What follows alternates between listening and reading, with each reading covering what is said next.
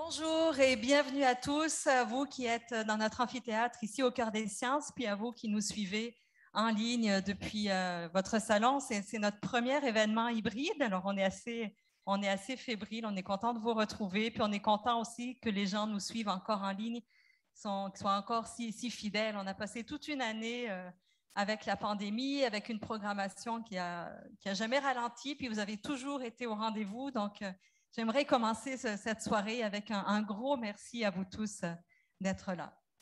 Je me présente, Stéphane Schex, je suis la, directrice du Cœur des sciences. Ce soir, on va vous parler du climat c'est un sujet euh, qu'on doit, absolument aborder, mais comment en parler? Du côté du public, comment on, se sent concerné quand ça ne nous rejoint pas quotidiennement dans notre vie de tous les jours? Du côté des scientifiques, comment faire passer le message? Comment euh, sensibiliser les gens? Ce soir, on a fait le pari de parler du climat en suscitant chez vous l'émerveillement. Avant de vous présenter nos deux intervenants, je voudrais remercier nos deux partenaires de la soirée, le CRSNG, le Conseil de la recherche en sciences naturelles et, génie du Canada, qui nous soutient pour, euh, dans le cadre de la semaine de la culture scientifique. Il y a vraiment beaucoup d'activités. Si vous voulez aller voir sur leur site Internet, ça se termine dimanche. Et puis, merci aussi à notre euh, autre partenaire, le ministère de l'Éducation, de l'économie et de l'innovation, qui nous soutient pendant toute l'année euh, dans nos conférences. Maintenant, je vais vous présenter les intervenants, puis là, j'ai besoin de mon papier. Dominique Berthaud. Dominique Berthaud, il est professeur de biologie à l'Université du Québec à Rimouski et il est titulaire de la chaire de recherche du Canada en biodiversité nordique. Il est aussi co-auteur du livre Changement climatique et biodiversité du Québec, pour lequel il a gagné le prix littéraire scientifique Hubert Reeves en 2015, disponible dans toutes les librairies et à la bibliothèque. À ses côtés, nous avons Jean-Christophe Lemay. Jean-Christophe est photographe nature. Il est installé à Rimouski. Et euh, son objectif, lui, c'est de mettre en valeur le patrimoine naturel du Québec et d'encourager les gens à la conservation et à la protection des milieux naturels. Ces photos ont été publiées dans plusieurs magazines, dont Nature sauvage et beaucoup d'autres. Après leurs interventions, vous allez pouvoir poser des questions. Pour ceux qui sont en, en présence ici, vous avez deux micros. Donc, vous vous lèverez et puis vous pourrez poser vos questions. Pour ceux qui nous suivent en ligne, vous avez la petite section questions et réponses. Vous écrivez vos, questions et Catherine nous, les relaiera euh, au micro. Alors, je pense que j'ai dit tout ce que j'avais à dire. Pas moi que vous êtes venu écouter. Tout est beau. Alors maintenant, place à la science et à l'émerveillement.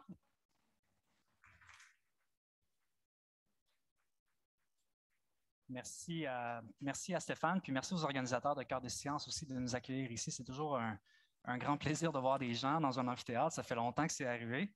Et puis moi, euh, étant de Rimouski, mais c'est encore plus plaisant de venir vous voir à Montréal, des gens que je vois moins souvent que, que dans le Bas-Saint-Laurent, justement. Ce soir, on va parler de climat, comme Stéphane l'a souligné. Je vais m'occuper un peu plus du volet art en vous présentant des anecdotes, des photographies. Euh, puis Dominique va s'occuper du volet science, évidemment. Donc, je pense que ça va bien se compléter. Euh, j'ai grandi dans un petit village franco-ontarien qui s'appelle L'Orignal. Déjà, je baignais dans les animaux dès mon jeune âge. Et puis, il y avait des cerfs de Virginie qui venaient sur le terrain. Ils mangeaient dans les pommiers. Euh, moi, j'ai regardé la galerie. Donc, j'ai vraiment grandi en forêt. Puis, malgré tout, dès mon jeune âge, c'est vraiment l'eau qui a commencé à me fasciner. On allait à l'océan Atlantique environ une dizaine de fois par année, si ce n'est pas plus. Et puis, mes, parents m'ont vraiment apporté là, dans tous les cours d'eau euh, qu'on avait dans notre coin. Puis, j'ai vraiment développé une fascination puis un intérêt pour l'eau salée, entre autres, mais tous les cours d'eau de façon générale. Puis, quand les années ont progressé, mais là, je me suis intéressé beaucoup à la vie qui s'y retrouvait. C'est ce qui m'a poussé à m'inscrire au baccalauréat en biologie en 2010 à l'UQAR, euh, que j'ai complété en 2013 d'ailleurs. Puis quand j'ai complété mon baccalauréat, j'avais vraiment un autre point de vue, je vous dirais, sur la nature.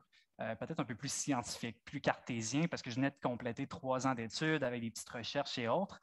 Mais je remarquais qu'il y avait toujours la fibre artistique qui ressortait au travers de tout. J'avais oublié de vous présenter la première diapositive, ça va être plus le fun. Donc voilà. Et puis je remarquais justement que la fibre artistique ressortait tout le temps. Ce qui, ce qui me frappait le plus, c'est que je trouvais tout très, très, très beau. Je trouvais que la nature était incroyablement belle. Puis encore à ce jour, évidemment, j'ai une grande fascination. Et puis, c'est pour ça que j'ai commencé avec une image du renard croisé que vous voyez ici, que j'ai photographié il y a à peine deux semaines à Terre-Neuve, parce que je le trouve tellement, tellement beau. Euh, ce n'est pas un animal qu'on croit assez souvent, du moins au Québec. Il y en a un peu en Anticosti, mais à Terre-Neuve, il y en avait plusieurs alentour de moi. J'en avais trois à mes pieds à un certain point. Puis je les ai tellement trouvés magnifiques que ça a juste renchéri tout ce que je pensais déjà sur les animaux que je trouve complètement magnifiques. Pour en venir un peu au climat, euh, depuis des millions d'années ou des milliers d'années plutôt, on sait que les animaux sont en constante évolution puis en adaptation, entre autres, face aux conditions climatiques auxquelles ils sont soumis. Au Québec, on a des exemples classiques parce qu'on a des hivers qui sont relativement rigoureux. Il fait très, très froid. L'été, il fait très, très chaud. Les animaux n'ont pas le choix de s'adapter. Puis ça, ça s'est fait sur des milliers d'années, justement. On a des exemples classiques, justement, comme je disais, parce que nos hivers sont très intenses. Puis à mes yeux, le lynx du Canada, le fantôme de nos forêts, moi je l'appelle parce qu'il est très, très discret, c'est un exemple qui est vraiment, vraiment admirable. Vous le voyez sur la photo, les pattes sont immenses. Lui, ce que ça sert en fait, c'est qu'en neige profonde, il va être capable de flotter, au même titre que les humains vont mettre des raquettes pour essayer de rester à la surface. Malgré tout, on cale quand même pas mal plus que lui. Il va avoir un pelage qui est un peu plus clair aussi l'hiver, pour essayer d'être un peu plus discret, plus camouflé dans la forêt boréale. Et puis le pelage est aussi très dense pour le garder au chaud. Donc, nettement très, très bien adapté euh, à la forêt boréale, donc aucun problème pour lui. Moi, par contre, j'ai passé des dizaines, des centaines d'heures à le chercher, puis je ne l'ai jamais vu de mes propres yeux. Puis l'image que vous voyez, en fait, c'est une photo qui a été prise avec un piège photo. Je ne sais pas s'il y en a qui sont familiers avec le processus. C'est une caméra que je vais installer en forêt avec un capteur de mouvement. Puis le capteur de mouvement, lui, s'il y a par exemple un coup de vent qui fait bouger un arbre, il va déclencher l'appareil photo, va déclencher les flashs également, puis une image qui va être prise. C'est exactement ce qui s'est passé avec le lynx. Je savais qu'il fallait que je développe un peu d'autres méthodes parce que sinon, je n'allais jamais le voir. J'ai passé beaucoup trop d'heures à suivre des pistes qui étaient très, très fraîches sans jamais être capable de voir l'animal. Mais avec le piège photo, on a un point de vue qui est complètement différent dans le sens où on n'a pas besoin d'être là. On entre dans le monde de l'animal, puis on est capable de voir des images qui sont en direct, même si je les vois un peu plus tard, comme celle-ci qui a été prise à 1h45 du matin, en pleine nuit. Même avec tout l'équipement du monde, je n'aurais pas été capable de reproduire la photo, même si j'avais eu un flash, parce qu'il aurait fallu que je voie l'animal. Donc, ça me donne vraiment un point de vue sur cette, euh, cette bête-là. Donc, beaucoup, beaucoup de temps qui est investi pour essayer de trouver des animaux, mais quand on réussit à avoir des images, c'est vraiment gratifiant. Tout ça pour dire que lui, nettement mieux adapté que moi en forêt boréale, malgré tout l'équipement que je suis capable de traîner pour rester à la surface, je calais beaucoup. il y a des endroits où je passais, je suivais des pistes, puis je me suis dit, c'est impossible qu'il passe ici. Puis malgré tout, je voyais les pistes juste de l'autre côté, des petits, petits raccoins. évidemment, moi, je suis plus haut sur pattes, je suis plus grand, mais malgré tout, c'est quand même un gros animal. Puis il passait dans des endroits que je me suis dit, c'est inimaginable, mais il a l'air d'être très, très à l'aise pour se faufiler un petit peu partout, comme, euh, comme les félins, en fait. Le climat peut aussi avoir un impact sur l'aire de distribution des espèces. Là, on l'a vu sur la physionomie de l'animal avec le lynx. Là, on va parler un peu d'aire de distribution. Dans le Bas-Saint-Laurent, entre autres, on a des espèces d'oiseaux qu'on ne voyait pas auparavant, qu'on est capable de voir maintenant, qui étaient considérés comme rares. Ça peut paraître banal ici, mais le cardinal rouge à Matane, c'était difficile de l'observer auparavant. Maintenant, on le voit un peu plus. C'est la même chose avec le rubus à tête rouge également. Donc, l'aire de distribution de certains animaux va s'élargir, comme le cas du rubus puis du cardinal vers le nord, nord-est, par exemple, probablement en fonction des changements climatiques. Le homard, c'est un autre cas aussi. J'ai des amis qui sont plongeurs scientifiques depuis des dizaines d'années et puis qui me disent il y a plus de homards dans l'estuaire de Saint-Laurent qu'il y en avait auparavant. Pourquoi? Parce que la température de surface a potentiellement augmenté, ce qui augmentait le taux de survie des larves des homards d'Amérique et donc plus de survie des larves, plus de homards partout, puis nous, on en voit plus dans l'estuaire également. Ça fait en sorte que l'aire de distribution est aussi impactée par le climat qui est changé. Le homard bleu, pour vous faire une petite description de la photo, en fait, on estime qu'il y en a environ 1 sur 4 millions. Fait que déjà, de le voir, ça a été une immense chance. Puis je ne cherchais absolument pas des homards, même s'il y en a toujours où j'étais dans la baie de Gaspé, mais j'étais plutôt en train de photographier des phoques qui, eux, étaient partout alentour de moi. Puis à un certain point, quand j'ai regardé vers le bas, il était juste là, sur le rocher, le homard bleu, puis j'ai eu le temps de faire une cinquantaine de photos avant que je le laisse tranquille. Il y avait à peu près un mètre d'eau. Euh, donc, on est capable d'avoir les vraies couleurs quand on est en surface comme ça, pas besoin d'éclairage artificiel. Au-delà de la physionomie puis de l'aire de distribution, le climat peut aussi avoir un impact sur le mode de vie des animaux. Ici, on voit des phoques du Groenland, qui est une espèce qui va mettre bas autour des îles de la Madeleine. Les fameux blanchons qu'on voit beaucoup en photo, euh, c'est vraiment les jeunes du phoque du Groenland que vous voyez juste ici. Depuis les dernières années, la glace autour de l'archipel est un peu en carence, dans le sens qu'il n'y en a pas beaucoup. Et puis, euh, dans les dernières décennies, on n'a jamais vraiment eu ce problème-là. Maintenant, ce qu'il faut qu'il arrive en fait pour le du Groenland, c'est qu'il doit se réfugier sur la côte de Blanc-Sablon ou même du Cap-Breton pour espérer mettre bas puis élever les jeunes. moins de glace, euh, moins de surface rigide pour eux. Ils n'ont pas le choix d'aller ailleurs pour espérer élever leurs jeunes. Donc déjà, le couvert de glace a un impact immense sur le mode de vie du phoque du Groenland qui n'a pas le choix de s'adapter aux nouvelles conditions. Le trio que vous voyez sur l'image, je l'ai photographié en drone. Vous avez peut-être deviné. Euh, c'est une journée qui était venteuse à Rimouski. Parfois, on va voir des groupes d'individus qui vont pénétrer à l'intérieur de l'estuaire pour s'alimenter, entre autres. Puis s'il y a un manque de glace en milieu de l'estuaire, ils vont venir plus près de la rive pour pouvoir se reposer sur les glaces. Puis à ce moment-là, nous, on est capable de les observer. Donc, avec mes jumelles à partir de la maison, j'ai vu un groupe d'à peu près une centaine de phoques qui étaient au loin. Puis il y avait relativement beaucoup de vent. Euh, puis là, vous allez peut-être penser que c'est contre-intuitif de faire voler un drone quand il y a beaucoup de vent, mais ça diminue grandement le son et donc le dérangement sur les animaux aussi. moi, je préfère le sortir quand il y a un vent qui est raisonnable, évidemment, pas euh, des conditions de tempête, parce que sinon, ce serait dangereux. Mais ça fait en sorte qu'eux vont moins l'entendre. Et puis cette journée-là, j'ai pu avoir des centaines de photos sans jamais les déranger, avec mon petit drone qui volait au-dessus d'eux, à une altitude raisonnable, évidemment. C'est pour ça qu'on les voit d'un peu plus loin, même si j'avais voulu avoir un portrait plus serré, c'est sûr qu'ils m'auraient repéré et qu'ils m'auraient entendu, puis ce n'est pas ce qu'on souhaite. Les animaux sont au repos, on ne veut pas les déranger. Toutes ces histoires-là pour vous dire que le climat a vraiment un impact sur plusieurs justement facettes euh, du mode de vie des animaux, de l'air de distribution, de la physionomie, puis beaucoup d'autres choses. Puis il y a vraiment un lien intime avec leur environnement puis le climat, d'où euh, les différentes photos que je vous ai présentées. Merci, Jean-Christophe. Alors, on va se passer la parole, on va essayer de rester organisé. on n'est on est, on pas trop habitué à, faire ce genre de choses-là. Euh, d'abord, je veux vous saluer aussi, puis euh, vous êtes vraiment, c'est la première fois que je vois autant de monde dans une salle depuis très très longtemps. vous êtes vraiment très nombreux. Euh, je n'ai pas fait de conférence, moi non plus, depuis un an et demi. On a, on a l'impression un peu d'avoir marché dans un tunnel pendant un, an et demi, puis là, on sort la tête et on voit ce qui se passe. On est un peu timide. On est tous un peu comme ça, j'ai l'impression. Moi, j'ai l'avantage de ne pas avoir mon masque. Alors, merci beaucoup d'être ici, puis merci aux gens qui sont chez eux devant leur ordinateur, qui nous regardent. Euh, j'espère que vous, on va maintenir votre attention pendant une heure. Je sais que quand on est devant son ordinateur, on a toutes sortes d'autres distractions, c'est un peu normal, donc euh, vous pouvez vous relever de temps en temps, mais les gens qui sont ici, vous n'avez pas le droit de bouger. Alors, on va vous parler du climat, on va vous parler de la vie, et puis euh, d'une manière la plus organisée possible. Puis je vais commencer avec avec... Euh, ah oui, non, c'est pas celle-ci. Voilà. Euh, donc, on va se demander euh, pourquoi est-ce qu'on parle tant du climat, mais on va surtout se demander en commençant pourquoi est-ce que la vie est indissociable du climat et pourquoi est-ce que l'empreinte du climat, on peut la retrouver dans chaque forme de vie? Ce sont les questions qu'on va se poser, puis on va y répondre à peu près dans 10 minutes. Puis après, Jean-Christophe va reprendre le micro, puis on va se le passer comme ça. Je vais d'abord vous montrer une carte de l'Amérique du Nord parce que je vais vous parler de quelques lieux que je veux vous, euh, euh, situer en commençant. Alors, j'ai mis les deux villes à peu près les plus importantes de l'Amérique du Nord, donc euh, le Vancouver et Rimouski. je sais qu'il y en a d'autres entre Toronto, je pense Montréal. Je sais qu'il ne se passe pas grand-chose dans ces villes-là. Donc, Rimouski, Vancouver, mais une grande partie de mon travail se déroule dans l'extrême nord du Canada.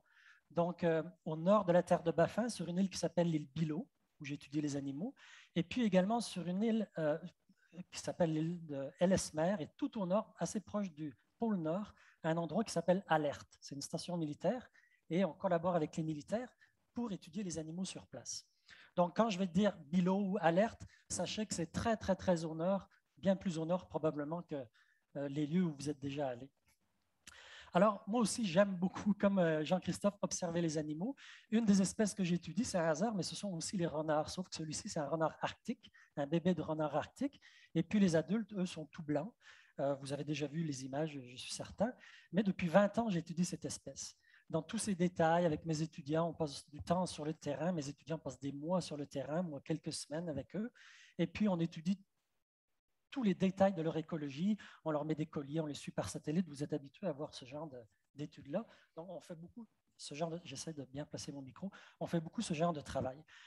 Euh, on étudie également, euh, par exemple, des lièvres arctiques sur euh, LS-mer. Vous voyez ici une femelle avec ses boucles d'oreilles qui nous permet de l'identifier, qui saute de joie, en tout cas qui saute. Alors, j'ai du mal à maintenir mon micro, il s'enlève régulièrement. Euh, donc, on étudie toujours ces animaux avec... Euh, euh, pardon? Oui, peut-être. Hein. Ils débarquent d'une oreille. Pourtant, j'ai mes deux oreilles. Trop grand, probablement. OK. Bon, on va voir. Si vous m'entendez mal, euh, faites-moi signe. Voilà, donc on a découvert euh, euh, il y a deux ans que ces lièvres font des très grandes distances et c'est étonnant de voir que même au Canada, il y a des choses sur l'écologie des espèces que l'on ne connaît pas et que l'on découvre encore aujourd'hui. Donc, vous voyez, ces grands mouvements de lièvres, on peut observer ce genre de choses-là au Groenland ou au Canada. Et puis, bon, des bébés lièvres, c'est toujours beau, les photos de bébés animaux, les gens ont toujours des waouh, donc on en met toujours. Et quand on va dans l'Arctique, on est dans des paysages auxquels on n'est pas du tout habitué. Il fait clair 24 heures sur 24. Les animaux sont beaucoup moins euh, craintifs. Et vous voyez, par exemple, ici un caribou de Perry.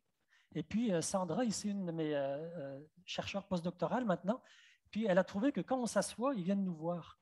Alors, vous voyez ce caribou en train de s'approcher d'elle, tout simplement parce qu'elle est assise. Parfois, par contre, on voit des, des animaux qui sont extraordinaires, mais ils ne font pas ce à quoi on s'attendait. Et ça, c'est alerte à un loup arctique, magnifique, en train de faire pipi sur euh, un ordinateur qui est en train de télécharger des données. Et ça fait partie des anecdotes que Jean-Christophe aussi probablement doit vivre de temps en temps. Mais donc, je vous montre ces quelques photos juste pour introduire le fait que je suis un chercheur en écologie animale. Mon plaisir, c'est d'observer la nature, mais comme scientifique, je passe beaucoup, beaucoup de temps à essayer de comprendre évidemment tout ce qu'on voit et également à l'enseigner. Alors, ce, petit renard que je vous ai montré tout à l'heure, en quoi est-ce qu'il euh, dépend du climat? Bien, si on, creuse la question le plus loin possible, assez vite, on se rend compte qu'à l'intérieur de tout être vivant, on est fait avec des molécules, des molécules qui interagissent. Puis parmi ces molécules, il y a entre autres des grosses molécules, des protéines, des enzymes, et ces molécules sont très sensibles à la température. Donc, je vais vous montrer une courbe. Je ne vous en montrerai pas beaucoup pendant la soirée, mais il faut absolument que vous euh, sachiez comprendre quelques-unes des courbes qui sont importantes. Vous voyez ici une courbe qui monte, puis après qui descend. En fait, ce qu'elle représente, c'est tout simplement le fait que quand la température augmente, le taux de réaction des enzymes, leur activité chimique, si vous voulez, est très faible aux basses températures. D'ailleurs, c'est pour ça qu'on met nos choses dans le frigo, parce que les aliments se conservent. Puis ensuite, quand on réchauffe, eh bien, ces molécules commencent à s'agiter, mais si on réchauffe trop, elles se dénaturent, elles se détruisent. Puis quand on fait nos conserves, par exemple, on conserve nos aliments par la chaleur parce qu'on détruit ces réactions-là.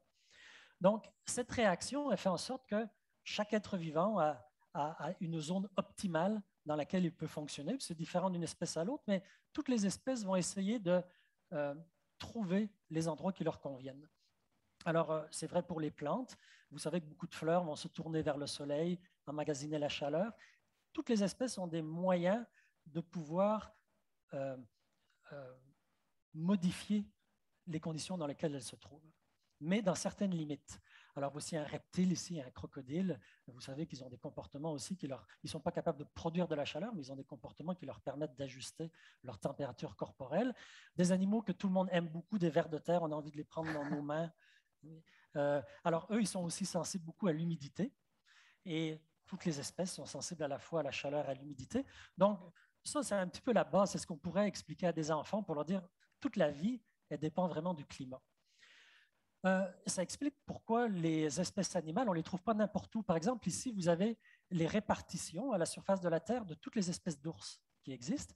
Et vous voyez, par exemple, l'ours blanc, il est dans les zones les plus nordiques et évidemment, il est adapté à des zones où les climats sont froids, pas juste par son métabolisme, mais aussi à cause de ses proies, de ses comportements, etc. Et c'est vrai pour toutes les autres espèces. Mais parfois, c'est un petit peu plus compliqué que euh, euh, juste la température idéale pour chaque espèce. Parce que chaque espèce vit dans son écosystème. Vous voyez, c'est un albatros, c'est une des premières espèces que j'ai étudiées. les, les, albatros vivent dans les mers du Sud, là où il y a des grands vents, dans les 40e rugissants, les 50e hurlants.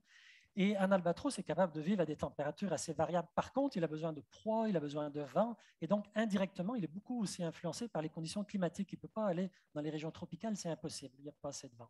Il ne trouverait pas les proies qu'il lui faut. Donc, chaque espèce vit dans un écosystème, et ici, c'est un vrai écosystème avec différentes espèces que l'on a reconstituées, et toutes les flèches montrent les relations alimentaires. Quelle espèce mange quelle espèce? Et donc, c'est une, chercheur postdoctorale aussi dans mon labo qui a reconstitué ça. Chaque flèche, c'est vraiment une vraie flèche bien réfléchie entre deux espèces qui montre les relations qu'on appelle les relations trophiques. Et vous comprenez facilement que si une espèce est affecté par le climat, forcément les autres vont l'être aussi, par ricochet. Alors on peut euh, vraiment euh, étudier toutes ces choses-là de manière très, très précise. On fait des, grandes matrices de chiffres avec des 1 et des 0 qui symbolisent les relations entre toutes ces espèces. On peut mettre ça dans des ordinateurs, faire des modèles et puis même tenter de prévoir un peu comment les choses vont changer au fur et à mesure que le climat va changer. Donc, vous voyez ici, je vous donne un petit peu un aperçu du type de recherche que l'on fait quand on s'intéresse à la vie, puis aussi au climat, dans une perspective écologique. Alors, nos dix premières minutes, c'est vraiment une introduction. Ensuite, on va aller de plus en plus profondément euh, dans le climat et aussi dans la vie. Mais pour l'instant, je vais laisser la parole à, Jean-Christophe. Et puis, les, les, prochaines questions que l'on va se poser, c'est comment est-ce que l'on peut étudier les climats planétaires et l'écologie planétaire? Parce qu'on en est rendu maintenant au stade où on ne s'intéresse pas juste aux molécules ou aux espèces, aux écosystèmes, mais à la planète en entier. Et puis, euh, vous allez voir comment l'observation de, la nature au Québec nous aide à comprendre la nature. Jean-Christophe, je te laisse la, suite. J'enchaîne. Merci, euh, Dominique. Donc, on va parler de climat, effectivement. Euh, ce qui est frappant au Québec, vous le savez, on a quatre saisons qui sont vraiment très, très distinctes. J'ai eu la chance de faire des photos dans des conditions météorologiques de tous les genres, mais aussi dans des climats qui sont différents. Et puis, comme je le mentionnais, au Québec, on a des saisons qui sont vraiment très différentes. L'hiver, l'été, le printemps, l'automne, chaque saison a ses propres températures et ses propres conditions climatiques également. Puis, ce qui est intéressant, c'est que si on prend l'exemple de Rimouski, par exemple, moi, je suis basé, là, ben, la maison, en fait, dans laquelle j'habite, vous la voyez sur la photo à quelque part, donc on est sur le bord de l'eau. Et puis, le climat à cet endroit-là est vraiment continental, mais très, très tempéré par la présence de l'estuaire du Saint-Laurent. Donc, on a une grosse masse d'eau froide devant la maison qui nous apporte régulièrement, entre autres, des bancs de brouillard, puis qui fait en sorte que le climat est beaucoup plus frais que si on marchait, par exemple, quelques kilomètres au sud de Rimouski, où le climat va être très continental, plus chaud, plus sec. Ce qui arrive, en fait, c'est que nos journées d'été à nous vont être humides, plus fraîches. Et puis, si on va encore une fois au sud, on va remarquer que les journées d'été vont être plus chaudes, plus secs. Par contre, quand on arrive à l'automne, le froid, la nuit, va arriver beaucoup plus tôt dans le climat continental qui est au sud versus Rimouski, où ça va demeurer encore plus tempéré. l'image en témoigne bien, dans le sens où Juin, juillet, je dirais qu'à Rimouski, le brouillard est très, très fréquent. Puis même, on est capable de voir des différences de température entre la marée haute et la marée basse sur le bord de l'eau parce que l'air froid provenant de l'eau est vraiment plus près de nous à marée haute qu'à marée basse, par exemple. C'est assez frappant quand même de voir la différence, ne serait-ce que dans quelques kilomètres, entre autres avec la présence de l'estuaire du Saint-Laurent. Puis on est capable de faire des situations comme celle-ci probablement à l'échelle de la planète si je pars de Rimouski, je fais deux heures de voiture vers l'est, je vais arriver à Saint-Anne-des-Monts, un petit village qui est aussi sur le bord de l'eau, très, très beau. Puis à partir de Saint-Anne-des-Monts, si je fais un autre 30 minutes de voiture vers le sud, mais là, je vais arriver dans la montagne, dans les monts Chic-Choc, en fait, que vous avez peut-être déjà visité, un endroit qui est formidable. Puis dans les monts Chic-Choc, on se retrouve au cœur de la forêt boréale, entouré de montagnes. Il y a des animaux de tous les genres. Il y a de l'ours noir, il y a des orignaux, il y a le pécan, il y a la marde d'Amérique. Plein de choses qu'on retrouve plus ou moins ou pas du tout, vous comprendrez, sur le bord de la plage. Donc, complètement différent. La photo que vous voyez d'ailleurs, je l'ai rachetée un peu à la dernière minute parce qu'elle a été prise aussi il y a quelques jours. Puis c'était dans les chic-chocs. Puis vous voyez que dans les vallées, il y a déjà du givre. On atteint déjà zéro degré. On atteint déjà des températures qui sont en dessous de zéro la nuit. Et puis au sommet, c'est encore l'automne. Il y a des grandes différences même dans les montagnes qui témoignent de différentes conditions météo, mais aussi un climat sur plusieurs mois qui est complètement différent de ce qu'on retrouve à Rimouski. Tout ça en trois heures de voiture quand même. C'est fascinant de voir à quel point on est capable de changer de conditions aussi rapidement au Québec, du Bas-Saint-Laurent à la Gaspésie. Encore en Gaspésie, je suis rendu dans le parc national de la Gaspésie, puis je décide de faire une randonnée de deux heures qui va m'apporter au sommet du Mont Albert. Est-ce qu'il y en a d'entre vous qui l'avaient déjà fait d'ailleurs? C'est de toute beauté. Hein. On arrive en haut, plateau de 13 km, complètement dénudé, c'est la toundra alpine. Énorme contraste, ne serait-ce qu'avec 500 mètres plus bas dans la même montagne où on est encore en pleine forêt puis on n'a pas de vue du tout. C'est vraiment de toute beauté. Et puis au sommet, on a des conditions environnementales ou des conditions climatiques qui sont assez difficiles, très différentes, mais très représentatives aussi de cet immense plateau qu'on retrouve. Une des plus hautes montagnes du Québec, au-dessus de 1000 mètres en altitude, puis un endroit qui est à visiter si jamais vous avez encore l'endurance de faire la petite randonnée. Ce n'est pas tellement long, mais ça monte, euh, ça monte bien. Dans les mêmes conditions de vie difficiles du plateau du Mont Albert, on retrouve des plantes rares comme par exemple le saule à bractée verte, seul endroit au monde où on est capable de trouver cette espèce-là. Il y en a peut-être quelques centaines de plants, donc, le piétinement, évidemment, est super important. Il faut l'éviter, on reste dans le sentier. Puis si on est aussi encore un peu chanceux, on peut croiser le caribou des bois. Le caribou des bois est écotype montagnard, par contre. On estime présentement qu'il en reste moins de 50 individus, donc c'est très, très peu. Si on retourne quelques années en arrière, il y en avait déjà beaucoup plus, Donc, le déclin est très, très drastique. Donc, de pouvoir les observer, c'est vraiment un privilège unique, d'où l'importance, encore une fois, de rester dans les sentiers et d'éviter le dérangement. Tout ça pour dire qu'un beau matin du 30 septembre 2019, j'en avais 14 devant moi. Fait que c'est peut-être, euh, ben là, présentement, on n'est pas loin de la moitié du cheptel parce qu'il y a entre 40 puis 50, bref, le quart environ, mais beaucoup, beaucoup de caribous euh, directement dans les sentiers en pleine période de route. Puis le Mont-Albert, ils vont le fermer à partir du 30 septembre, justement. Donc, c'était la dernière journée pour pouvoir faire la randonnée, parce que par la suite, ils vont fermer la montagne pour éviter qu'il y ait des humains qui y aillent et puis qui, justement, mettent en péril un peu euh, la survie de l'espèce, jusqu'à la période de reproduction qui va être au printemps. Donc, 14 caribous devant moi, il y avait trois mâles, il y avait deux jeunes, la balance c'était des femelles en pleine période de rut. C'était vraiment fantastique. Donc, les, mâles se battaient entre eux pour essayer de savoir lequel était le plus dominant. Ça, c'était les deux sous-dominants parce que le mâle, le plus massif, lui, s'occupait juste des femelles, il faisait ses affaires. Euh, c'était vraiment de toute beauté à voir, c'est un réel privilège.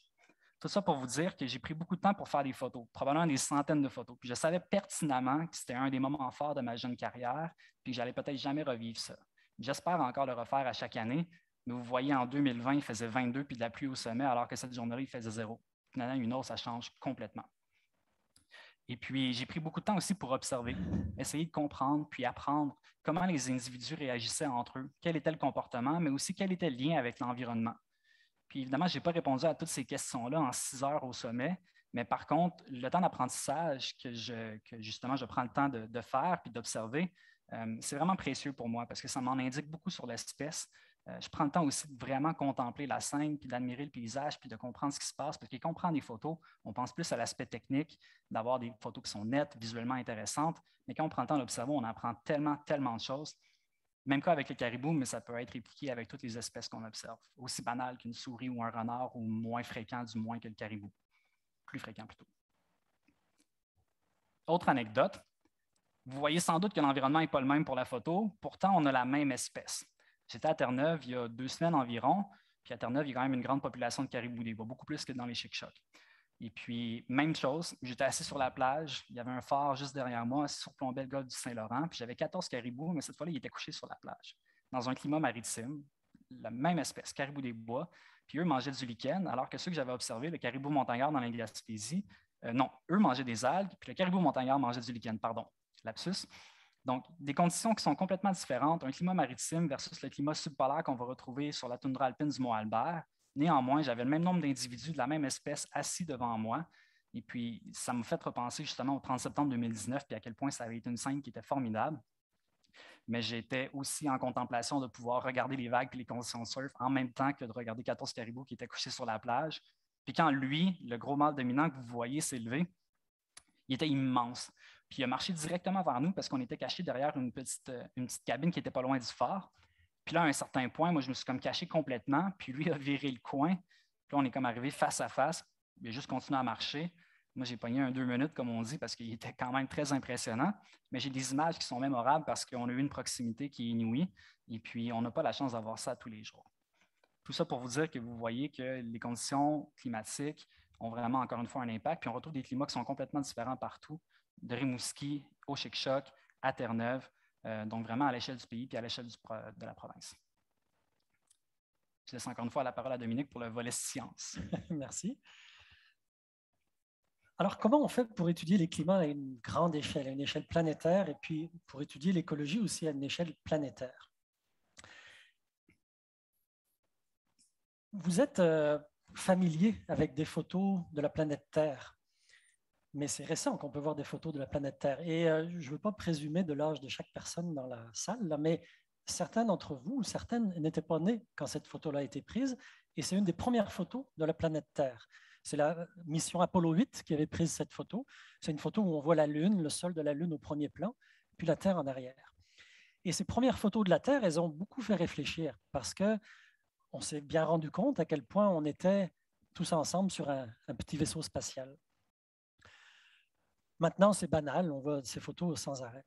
Mais la science, elle aussi, a réussi à progresser depuis euh, quelques dizaines d'années pour aborder les questions qui sont planétaires. Et parmi toutes les photos de la planète Terre, il y en a certaines qui ont beaucoup plus marqué l'imagination que d'autres. Il y en a une qui s'appelle The Pale Blue Dot. C'est celle-ci. Et c'est une photo qui a été prise, je pense, en 1900. Alors, vous voyez, on voit la Terre au bout de la petite flèche ici sur la photo. Et on la voit depuis un point qui est situé pas depuis l'extérieur du système solaire, mais vraiment en bordure du système solaire. La, sonde qui a pris la photo, elle est plus loin que la planète la plus lointaine du Soleil. Et donc, on voit notre toute petite planète au bout de, cette petite flèche ici.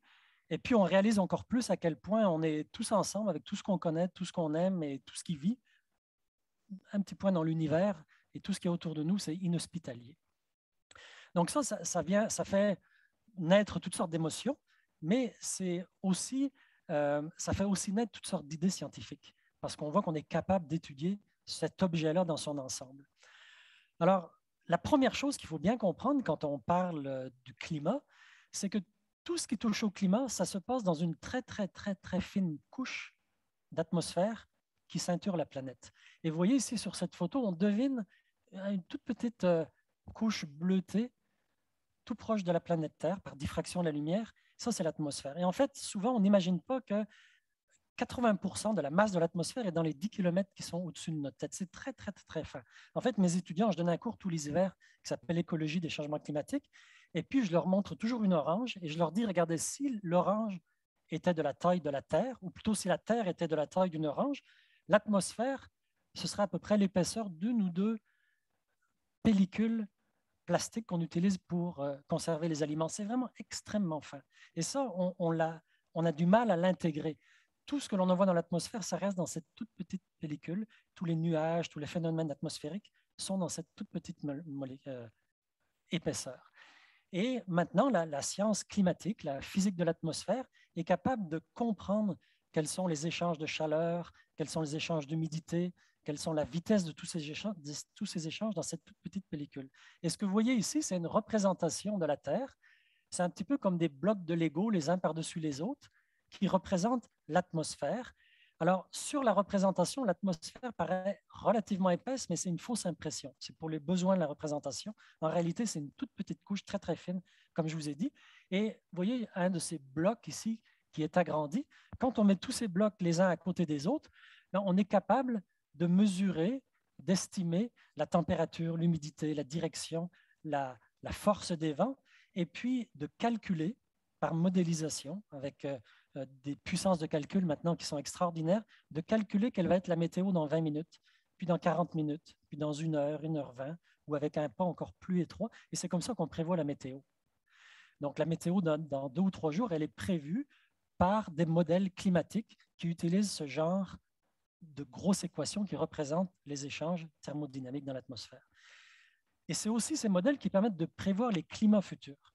Et là, vous allez me dire, mais on ne peut pas prévoir la météo dans deux ou trois semaines. Comment est-ce qu'on peut prévoir le climat dans 50 ou dans 100 ans? Et ça, c'est une, petite énigme qui est facile à résoudre quand on fait un, raisonnement simple, mais qui, à première vue, paraît insoluble. Il y a beaucoup de phénomènes qu'on peut prédire de manière statistique dans leur moyenne, mais pas de façon individuelle. Par exemple, dans la salle ici, imaginons qu'il y ait des personnes qui soient enceintes. Moi, je ne peux pas dire si c'est un petit garçon ou une petite fille qui va naître. Je ne peux pas le dire. Si je croise une personne dans la rue, je ne peux pas le dire non plus. Mais par contre, je peux dire avec beaucoup d'assurance qu'en 2021 et en 2022, à peu près 50% des bébés vont être des petits garçons, l'autre 50% vont être des petites filles. Donc, je peux prévoir une moyenne, mais je ne peux pas prévoir des événements individuels. Et c'est vraiment la même chose avec la météo, qui est le temps qu'il fait à court terme, et puis le climat, qui est la moyenne de la météo sur des longues périodes. Il y a quelques années, j'ai euh, coordonné un, assez gros projet de recherche qui visait à comprendre comment le changement du climat, dont on va parler beaucoup plus dans les prochaines minutes, affecte toute la biodiversité du Québec. Et à la suite de ce projet qui a duré plusieurs années, j'avais publié avec mes collègues Nicolas Casajus, qui maintenant euh, travaille euh, en France, à Montpellier, qui étudie la biodiversité. Et puis Sylvie Deblois, qui est une spécialiste des plantes, qui est professeure à l'Université McGill, et beaucoup d'autres euh, collègues et beaucoup d'étudiants. On avait modélisé, à partir des modèles climatiques, comment la biodiversité du Québec va réagir ou peut réagir au changement du climat. Et je vais vous en donner un petit aperçu, sans vous donner tous les détails, mais je vais vous en donner un petit aperçu avant qu'on passe à l'étape suivante, à la troisième section, où on va parler plus profondément du climat, plutôt du changement du climat. Alors, c'est un projet avec beaucoup, beaucoup de partenaires, et puis euh, je vous donne parfois quelques diapositives qui montrent un petit peu l'organisation de la science. c'était coordonné par un groupe qui s'appelle Ouranos, que quelques-uns d'entre vous peut-être connaissent. Il y avait des universitaires de plusieurs universités du Canada et aussi des États-Unis, des agences gouvernementales, des ministères, parce que ce qu'on voulait faire comme étude, on voulait l'appliquer après à la conservation de la biodiversité, et puis aussi des organismes non gouvernementaux qui jouent un très, très grand rôle. Et j'en parlais tout à l'heure avec Isabelle.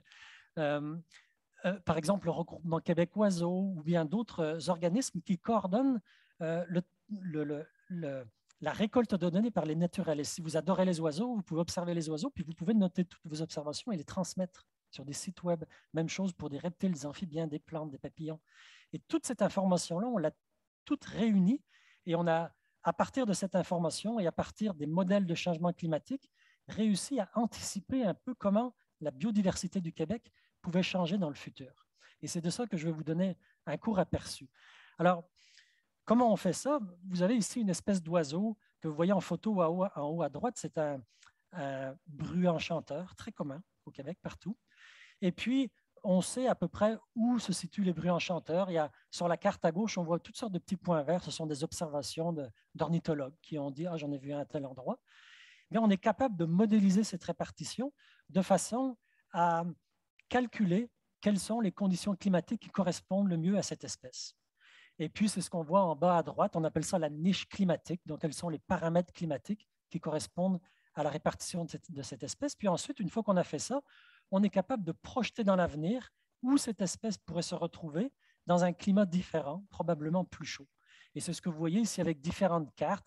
En haut à gauche, la répartition de l'espèce, au milieu, en haut, la modélisation de cette répartition, la représentation mathématique de la, répartition, et puis en haut à droite, où cette espèce pourrait être dans le futur. Et en général, la grande majorité des espèces, elles ont tendance, on a tendance à les voir monter dans les montagnes ou s'en aller vers le nord au fur et à mesure que les climats se réchauffent. Du moins, ce sont des scénarios de changement qui sont probables. On n'est jamais certain de l'avenir. Alors, ça, c'est le type de recherche que l'on fait quand on travaille à des grandes échelles géographiques et puis, on a fait ça avec des centaines d'espèces, presque 1000 espèces. On a produit des millions de cartes.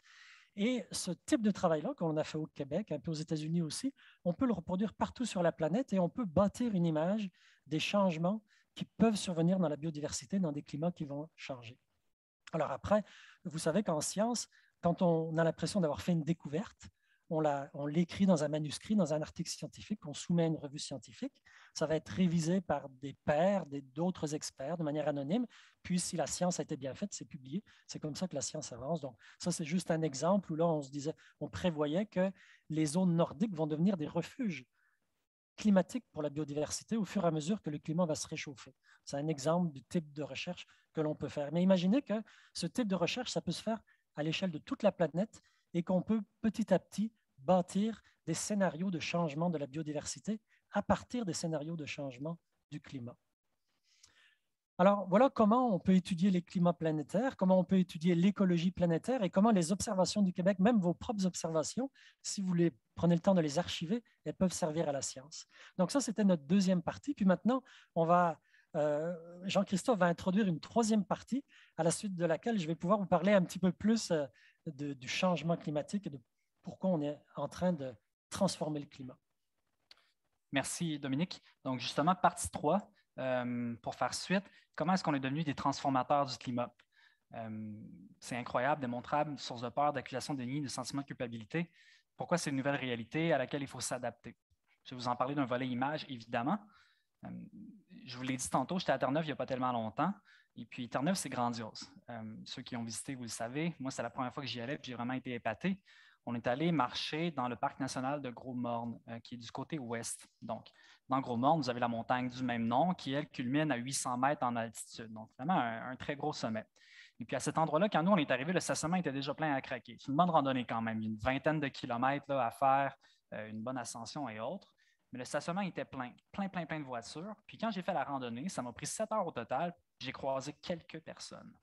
Euh, puis malgré tout, quand on fait le tour, on réalise justement qu'on est très, très, très petit dans ces immenses montagnes. Et puis les trois randonneurs que vous voyez, c'était juste une petite partie du sommet, mais ils sont vraiment minuscules dans le parc national du Gros-Morne. En forêt boréale, autant que dans l'eau, euh, j'ai la même sensation d'être réellement petit. Euh, je fais du surf depuis plusieurs années. J'aime beaucoup partager des sessions puis des vagues avec des amis un petit peu partout. C'est toujours le fun d'échanger les vagues puis de, voir comment les autres surfent. Mais les sessions que je préfère malgré tout, c'est celles où je vais être seul. Ma mère aime moins ça, ma blonde aime moins ça. Mais moi, je capote parce qu'on a le sentiment d'être vraiment à, la merci un peu de ce que l'océan a à nous offrir. Sur l'image, c'est relativement tranquille. Les vagues sont plus petites, c'est facile de se pagayer, c'est facile de nager. Mais à un certain point, moi, à force de prendre des vagues, je finis par être fatigué. Puis là, je tombe, puis là, je me fais brasser pendant quelques secondes dans cette espèce de machine à laver là. Puis pendant ces quelques secondes-là, je me remémore toujours que ben, ce n'est pas moi qui est en contrôle dans l'océan, du tout, du tout. Euh, malgré toutes les habiletés que je pourrais avoir sur une planche, à chaque fois que j'y vais, je finis par ramasser un bouillon, avaler un peu d'eau salée, puis ça me ramène les deux pieds sur terre, puis ça me dit, c'est pas toi le boss. Puis l'océan, c'est vraiment puissant, grandiose très impressionnant. D'ailleurs, ça couvre quand même 70% de notre planète, ce n'est pas à négliger. Les mêmes vagues desquelles je vais être capable de profiter vont aussi être les vagues qui vont façonner le littoral. Dans le Bas-Saint-Laurent, je reviens toujours à ça parce que ça fait 10 ans que j'y habite, mais en 2010, on a eu des très grandes marées. Vous avez peut-être déjà vu les images. À Percé, ça brassé. À Rimouski, ça beaucoup. Des grandes marées avec des grands vents aussi du nord-est, puis une basse pression ça a fait en sorte qu'on a eu une tempête qui était probablement euh, une des plus grosses qu'il y a eu dans la dernière décennie, si ce n'est pas plus longtemps avant aussi. Puis ça a fait en sorte qu'on a eu beaucoup, beaucoup d'érosion côtière. l'océan peut être une source de plaisir, mais aussi une source de dérangement, surtout quand on commence à avoir des changements. Puis les tempêtes comme celle-ci qu'on voit par exemple au mois de décembre ou au mois de janvier, quand on retourne des décennies en arrière, mais peut-être qu'il y avait de la côtière qui faisait en sorte que les grosses vagues qu'on voyait sur les maisons ou sur les plages, mais en réalité, ils étaient au large moins de couvert glacier va faire en sorte que les vagues vont rentrer jusqu'au territoire. Et puis là, on devient plus vulnérable à ces changements-là, puis aux tempêtes qui peuvent avoir lieu dans l'estuaire du Saint-Laurent. On peut imaginer, par exemple, sur la côte de l'Atlantique ou la côte du Pacifique où l'océan puis le cours d'eau est nettement plus large, à quel point les tempêtes peuvent être dévastatrices. Puis on l'a vu récemment, entre autres, avec quelques ouragans. Tout ça pour vous dire que euh, récemment, justement, à Saint-Flavie, il y a une vingtaine de maisons qui ont dû, euh, ben, les gens qui y habitaient ont dû abandonner leur maison carrément à cause de l'érosion côtière. Donc, on commence à voir tranquillement des lieux comme ceux-ci où ils vont relativement, ben, en fait, ils vont carrément enlever les maisons, puis les gens vont être relocalisés à leur choix, évidemment. Ils peuvent rester s'ils veulent, mais il n'y aura plus d'assurance ou autre. Puis ça fait en sorte qu'avec l'érosion, on est en train de relocaliser des gens parce qu'on perd du terrain année après année. Puis il y a un parc auquel je, travaillais il n'y a pas tellement longtemps qu'on estimait qu'à la pointe, on avait environ un mètre de plage qu'on perdait à chaque année. C'est quand même énorme. Euh, puis oui, c'est une plage de sable, c'est très euh, susceptible à l'érosion, il n'y a rien de trop solide, il n'y avait pas beaucoup de plantes non plus pour solidifier la base, mais malgré tout, quand on pense aux chiffres, c'est vraiment, vraiment massif. Mais pourquoi on est dans une ère où on parle du climat constamment? Je veux dire, ça change depuis des milliers d'années, depuis des centaines d'années, il y a toujours eu du changement. Mais présentement, on en parle beaucoup parce que les mêmes changements qui ont lieu présentement en quelques décennies, ça aurait normalement dû prendre des milliers d'années. Fait que nous, en tant qu'êtres humains, les mêmes humains qu'on retrouvait dans le parc national du Gros-Monde qui sont minuscules, les mêmes humains qui vont aller dans l'océan et qui sont minuscules, on était capable de changer le climat à l'échelle planétaire ensemble en quelques décennies, alors que ça aurait normalement pris des milliers d'années pour faire le même changement. Puis quand on s'arrête à y penser, c'est quand même troublant. Euh, moi, en tout cas, ça me trouble profondément. Et puis, j'espère que ça suscite du changement, mais tout ça pour vous dire que euh, quand on s'arrête à y penser, c'est assez fascinant. Je relaisse la parole à Dominique. Merci. Oui, euh, on, oui, on va travailler, on va, on va parler de cette nouvelle réalité et puis des sentiments aussi que ça provoque. On a déjà dépassé la moitié. J'espère que vous êtes, ben, vous avez l'air extrêmement attentif, très agréable de vous parler. Et puis à la maison euh, aussi, vous avez l'air très, très attentif. après un petit café dans la cuisine. Alors, la, planète, euh, elle est très grande, puis elle est très petite. Et quand on est euh, dans la vaste nature, puis Jean-Christophe le, verbalise tellement bien, ici on est sur l'île Bilot, vous voyez quelques tentes, c'est euh, un de nos tout petits camps qu'on utilise pour étudier les renards arctiques, on les déplace sans arrêt comme ça. Et on voit en face la terre de Baffin, des, on devine tout en haut une calotte glaciaire, on voit iceberg. Ici, on doit être à la fin juillet probablement. Et on a l'impression d'être loin de toute activité humaine. Et on l'est un, peu loin, mais le, comment je dirais ça, le murmure de l'humanité, on l'entend quand même si on, réfléchit un tout petit peu. Parce que si je prends un échantillon d'eau, il y a toutes sortes de molécules dedans qui ont été créées par des humains. Si je prends un échantillon de sol, ça va être la même chose. Si je réfléchis à la météo, on sait maintenant qu'elle est influencée par les humains. Donc, quel que soit l'endroit où on va, nos activités ont une influence. Donc oui, c'est une très grande planète. Parfois, on est loin de tout.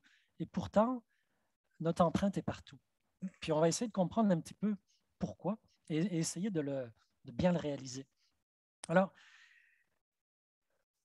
la planète est couverte de plantes. Il y a des plantes presque pas partout, non, mais il y a beaucoup de plantes.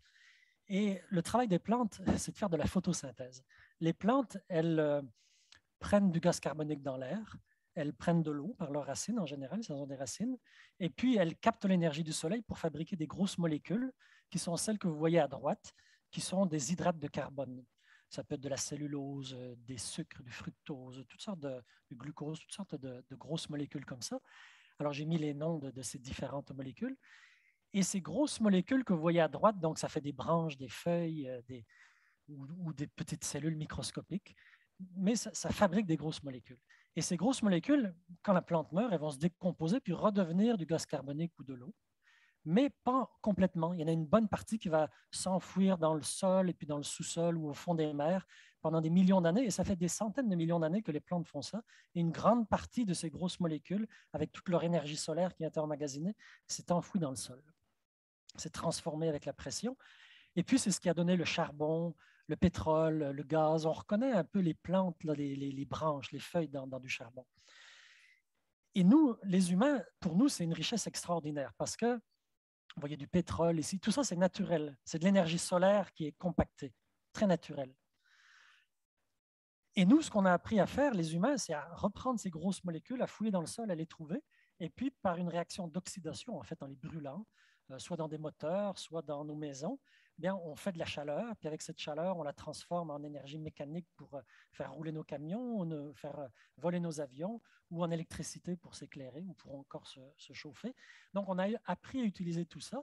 Puis, c'est extraordinaire ce qu'on a fait avec tout ça. On a bâti notre civilisation, tout notre confort, on l'a bâti à partir de toute cette ressource naturelle. Donc, le pétrole, c'est formidable.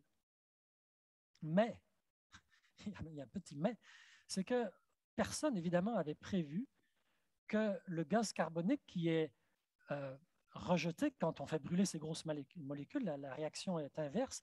Ce gaz carbonique, ben, il ne s'en va pas dans l'espace, il reste dans l'atmosphère. Et cette atmosphère, on l'a vu, c'est très, très fin. Rappelez-vous l'orange, c'est très, très, très, très peu épais. Et c'était, je pense, assez impossible de prévoir qu'il y avait tant de pétrole, tant de charbon, tant de cadeaux de la nature, mais un cadeau quand même empoisonné parce que ce CO2 dans l'atmosphère, il s'accumule et l'atmosphère n'est pas très grande. Et donc, on augmente sa concentration. Mais personne ne savait qu'on ferait ça. Donc, il n'y a aucune méchanceté. C'est juste le résultat de nos actions. Donc, on a beaucoup, beaucoup bénéficié de tout ce cadeau de la nature, mais maintenant, on est en train de s'apercevoir qu'il y a des effets secondaires. Et l'effet secondaire principal, étant donné que les réserves d'énergie fossile sont immenses, on en a déjà puisé beaucoup, mais il en reste encore beaucoup, beaucoup, beaucoup. Vous voyez ici une mine de charbon à ciel ouvert, des puits de pétrole, euh, et puis euh, une utilisation qu'on fait tous, hein, de, toute de, cette énergie. Euh, donc, on, est capable d'extraire ce, cadeau de la nature avec une, vitesse et en des quantités qui sont extraordinaires. Vous voyez ici, cette courbe ici, on est, voyez, en 1950 ici. Et là, on est, bon, là, la courbe, on pourrait la prolonger, on est maintenant en 2021, mais on arrête en 2011 ou 2012. Vous voyez à quel point c'est incroyablement rapide cette montée. Et en fait, c'est depuis la dernière guerre mondiale, on sait bien que notre société s'est développée d'une façon qui est extraordinaire, notre population humaine aussi, et notre consommation personnelle aussi.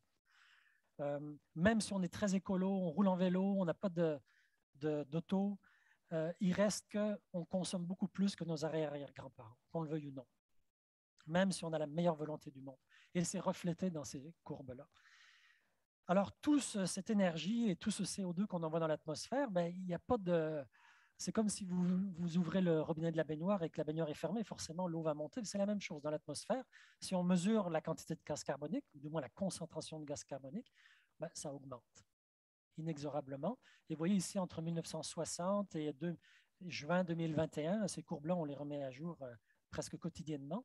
vous voyez cette, augmentation. Ça, c'est des données qui viennent de Mauna Loa à Hawaï. C'est un, un des endroits où on mesure le CO2, mais la circulation atmosphérique fait que ça se répartit partout autour de la planète et on peut faire les mêmes mesures à Rimouski ou à Montréal ou ailleurs.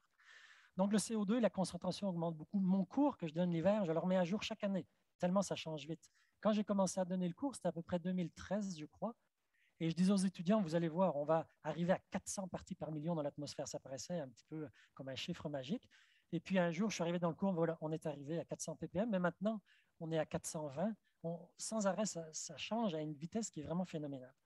Alors, on augmente la, concentration de gaz carbonique et d'autres types de gaz aussi. Et puis, vous vous souvenez de l'orange.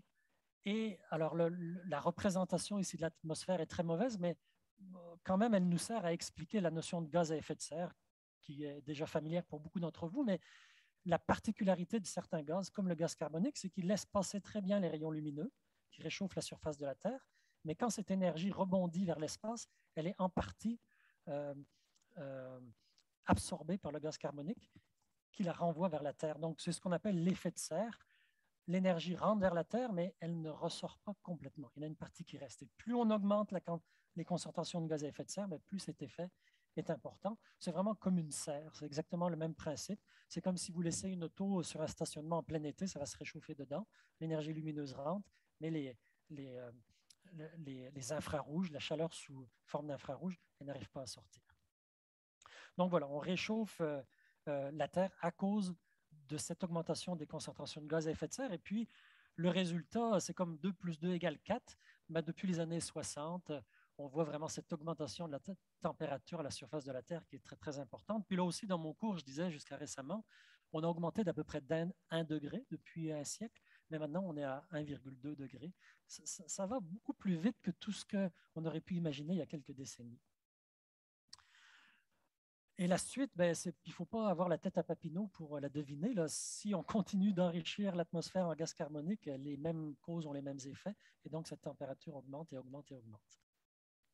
Donc ça, c'est le phénomène du réchauffement climatique. Et voilà comment on est devenu des transformateurs du climat, mais sans le vouloir, pas nécessairement méchamment. Alors ça, quand on, réfléchit un tout petit peu à ça, puis quand on l'internalise, quand on le réalise, ça provoque toutes sortes d'émotions, vraiment parfois des émotions très fortes. Alors certaines de ces émotions, euh, elles viennent surtout du fait qu'il y a beaucoup, beaucoup d'impact de ce changement du climat, puis vous le devinez avec ce qu'on a dit avant, mais on va voir quelques exemples. Euh, vous avez entendu parler probablement du GIEC, euh, le groupe d'experts intergouvernemental sur l'évolution du climat. C'est simplement un regroupement d'experts. Ce n'est pas toujours les mêmes, hein, ça change chaque année, il y a un renouvellement, qui fait le point périodiquement sur la situation du climat. Donc, qu'est-ce qui change? Quels sont les impacts? Comment on peut s'adapter et comment on peut atténuer ces changements? Il y a plusieurs volets dans les rapports du GIEC. Et le, le, rapport du groupe de travail numéro un qui décrit le changement du climat est paru il y a quelques mois. On en a entendu parler dans les médias, mais en 2022, on va en entendre parler beaucoup plus parce qu'il y a les, groupes de les, rapports des groupes de travail numéro 2 et 3 sur les impacts, sur l'adaptation, sur l'atténuation qui vont sortir. Donc, c'est important de savoir que le GIEC, ça existe. Et c'est vraiment notre source de référence qui rassemble toutes les études qui se publient dans le monde, qui est mise à jour régulièrement. Alors, ben, quand on lit ça, euh, on en entend sans arrêt parler dans les médias, mais il faut le rappeler, ben, on voit les glaciers qui fondent, on voit la banquise à son étendue minimale en septembre qui rétrécit dans l'hémisphère nord. Euh, Ce n'est pas sorcier, hein, la température augmente, évidemment, ça fond plus. Les océans euh, que Jean-Christophe connaît bien, ben, ils se réchauffent. L'air se réchauffe, donc l'air est en contact avec l'eau, ça se réchauffe. Les océans montent, comme le disait Jean-Christophe, en partie parce que les glaciers, les calottes glaciaires fondent, mais aussi parce que l'eau plus chaude prend plus de place. Il y a une expansion thermique de l'eau, donc qui contribue beaucoup à la remontée des océans. Et puis aussi, on voit une acidification des océans. Ce n'est pas un effet du changement climatique, mais c'est plutôt un phénomène parallèle. C'est-à-dire que le gaz carbonique qui réchauffe le climat, il se dissout en partie dans l'eau, et en se dissolvant, il acidifie l'eau. Et, tous ces phénomènes-là ont des répercussions énormes sur euh, euh, nous, quand on vit sur les côtes, mais aussi sur la vie dans les océans, en particulier le réchauffement et puis l'acidification. Et puis, on voit euh, les, euh, événements extrêmes qui augmentent en intensité, qui augmentent en fréquence.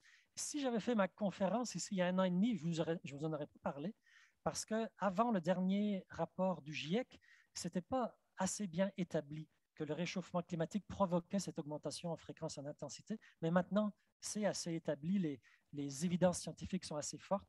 Donc là, je peux me permettre de le dire, oui, le réchauffement du climat augmente la fréquence et l'intensité des tempêtes tropicales, des incendies, etc. Et euh, on, en, voilà, on en est rendu là. Euh, on en est rendu aussi au stade où il y a des gens, ce n'est pas juste les animaux et les plantes, c'est des gens aussi qui commencent à se déplacer. Les endroits où ils vivaient ne sont plus convenables parce que le climat se réchauffe. Et puis évidemment, la biodiversité, les plantes et les animaux qui sont 24 heures sur 24 dehors, 7 jours sur 7, réagissent à ces changements du climat. Parfois réagissent très rapidement et on le voit, parfois ne sont pas capables de réagir. Et c'est plus troublant et probablement plus inquiétant quand c'est le cas. Au moins, quand ça réagit, ça veut dire qu'il y a une adaptation rapide qui peut se faire. Quand ça ne réagit pas, euh, on se demande à quel point les espèces vont être capables de résister à ces changements très rapides. Alors, je vous disais que ça provoque toutes sortes d'émotions, euh, ces changements-là. Et je vais, je vais un peu montrer quelques-unes des émotions les plus extrêmes. Alors, et avant, oui, c'est vrai, je ne voulais pas oublier de vous dire, et ça, vous n'en avez probablement pour la plupart euh, jamais entendu parler, il y a vraiment un regroupement équivalent au GIEC qui s'appelle l'IPBES, on dit aussi l'IPBES, qui est vraiment le GIEC de la biodiversité. La biodiversité est en train de changer rapidement, on perd beaucoup, beaucoup d'espèces, d'écosystèmes très rapidement. Et il y a une plateforme aussi intergouvernementale comme le GIEC qui, fait le point sur la biodiversité, mais qui est très, très récente. Donc, on en parle très peu dans les médias, mais vous allez voir dans les années qui viennent, on va en parler de plus en plus. Et le changement du climat et la crise, la perte de la biodiversité, ça va être deux crises environnementales dont on va parler de plus en plus. Pendant toute notre vie, on va en entendre parler. Qu'on soit jeune ou qu'on soit vieux, on est pris avec ça pendant toute notre vie maintenant. Je vais en reparler un petit peu plus tard après. Alors, les émotions que, cela euh, engendre, euh, j'ai aucune idée pourquoi j'avais mis cette photo-là. C'est une belle photo. Voilà. Euh, ah oui, c'est ça. Je pense que c'était un petit peu pour euh, nous faire un petit peu de bien au cœur avant de passer dans ce qui est un peu plus difficile. Bon, donc, on voit des gens qui, vraiment, je dirais même pas son nom. D'ailleurs, je ne sais pas qui c'est exactement, mais je dirais pas son nom, c'est trop stressant de dire son nom. Mais on, on, observe du déni. De moins en moins, mais on observe du déni pour toutes sortes de raisons. Et euh, on appelle ça le climato-négationnisme parfois. Ce n'est pas du scepticisme, parce que c'est bien d'être sceptique. Euh, tout ce que je vous dis, vous n'êtes pas obligé de l'accepter euh, parce que je vous le dis. Informez-vous, essayez de, le comprendre. C'est bien d'être sceptique. Le, négationnisme, c'est autre chose, puis je, je l'ai défini à, partir de la définition du négationnisme. J'ai défini le, le climato-négationnisme. Alors, c'est un déni des faits, malgré la présence de preuves qui sont flagrantes dans ce cas-ci, sont rapportés par les scientifiques, et ce, à des fins économiques ou idéologiques ou politiques. Donc, évidemment, pour s'attaquer au changement climatique, il va falloir diminuer les émissions de carbone, et ça, ça ne fait pas l'affaire des gens qui vendent des énergies fossiles. Donc, il y a des impacts économiques très importants à mettre en œuvre certaines des solutions.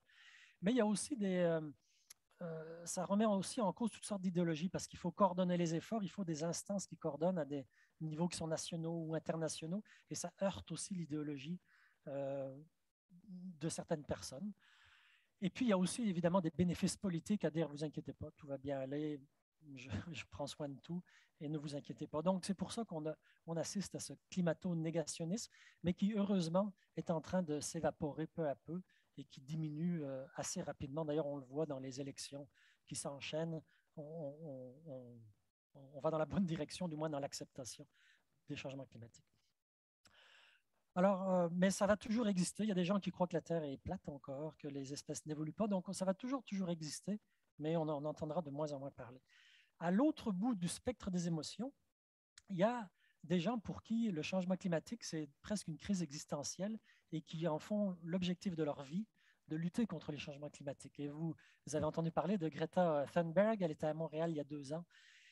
Et donc, euh, elle, elle, euh, symbolise un petit peu cette, énergie, cette euh, rage de, voir ce climat qui change et d'avoir l'impression qu'on n'arrive pas à s'en sortir, on n'arrive pas à prendre les, bonnes décisions ou que personne s'en occupe de manière sérieuse. Elle symbolise bien ça. Donc, ce sont les deux extrêmes. Puis, entre les deux, il y a la plupart d'entre nous, on est pris dans toutes sortes d'émotions.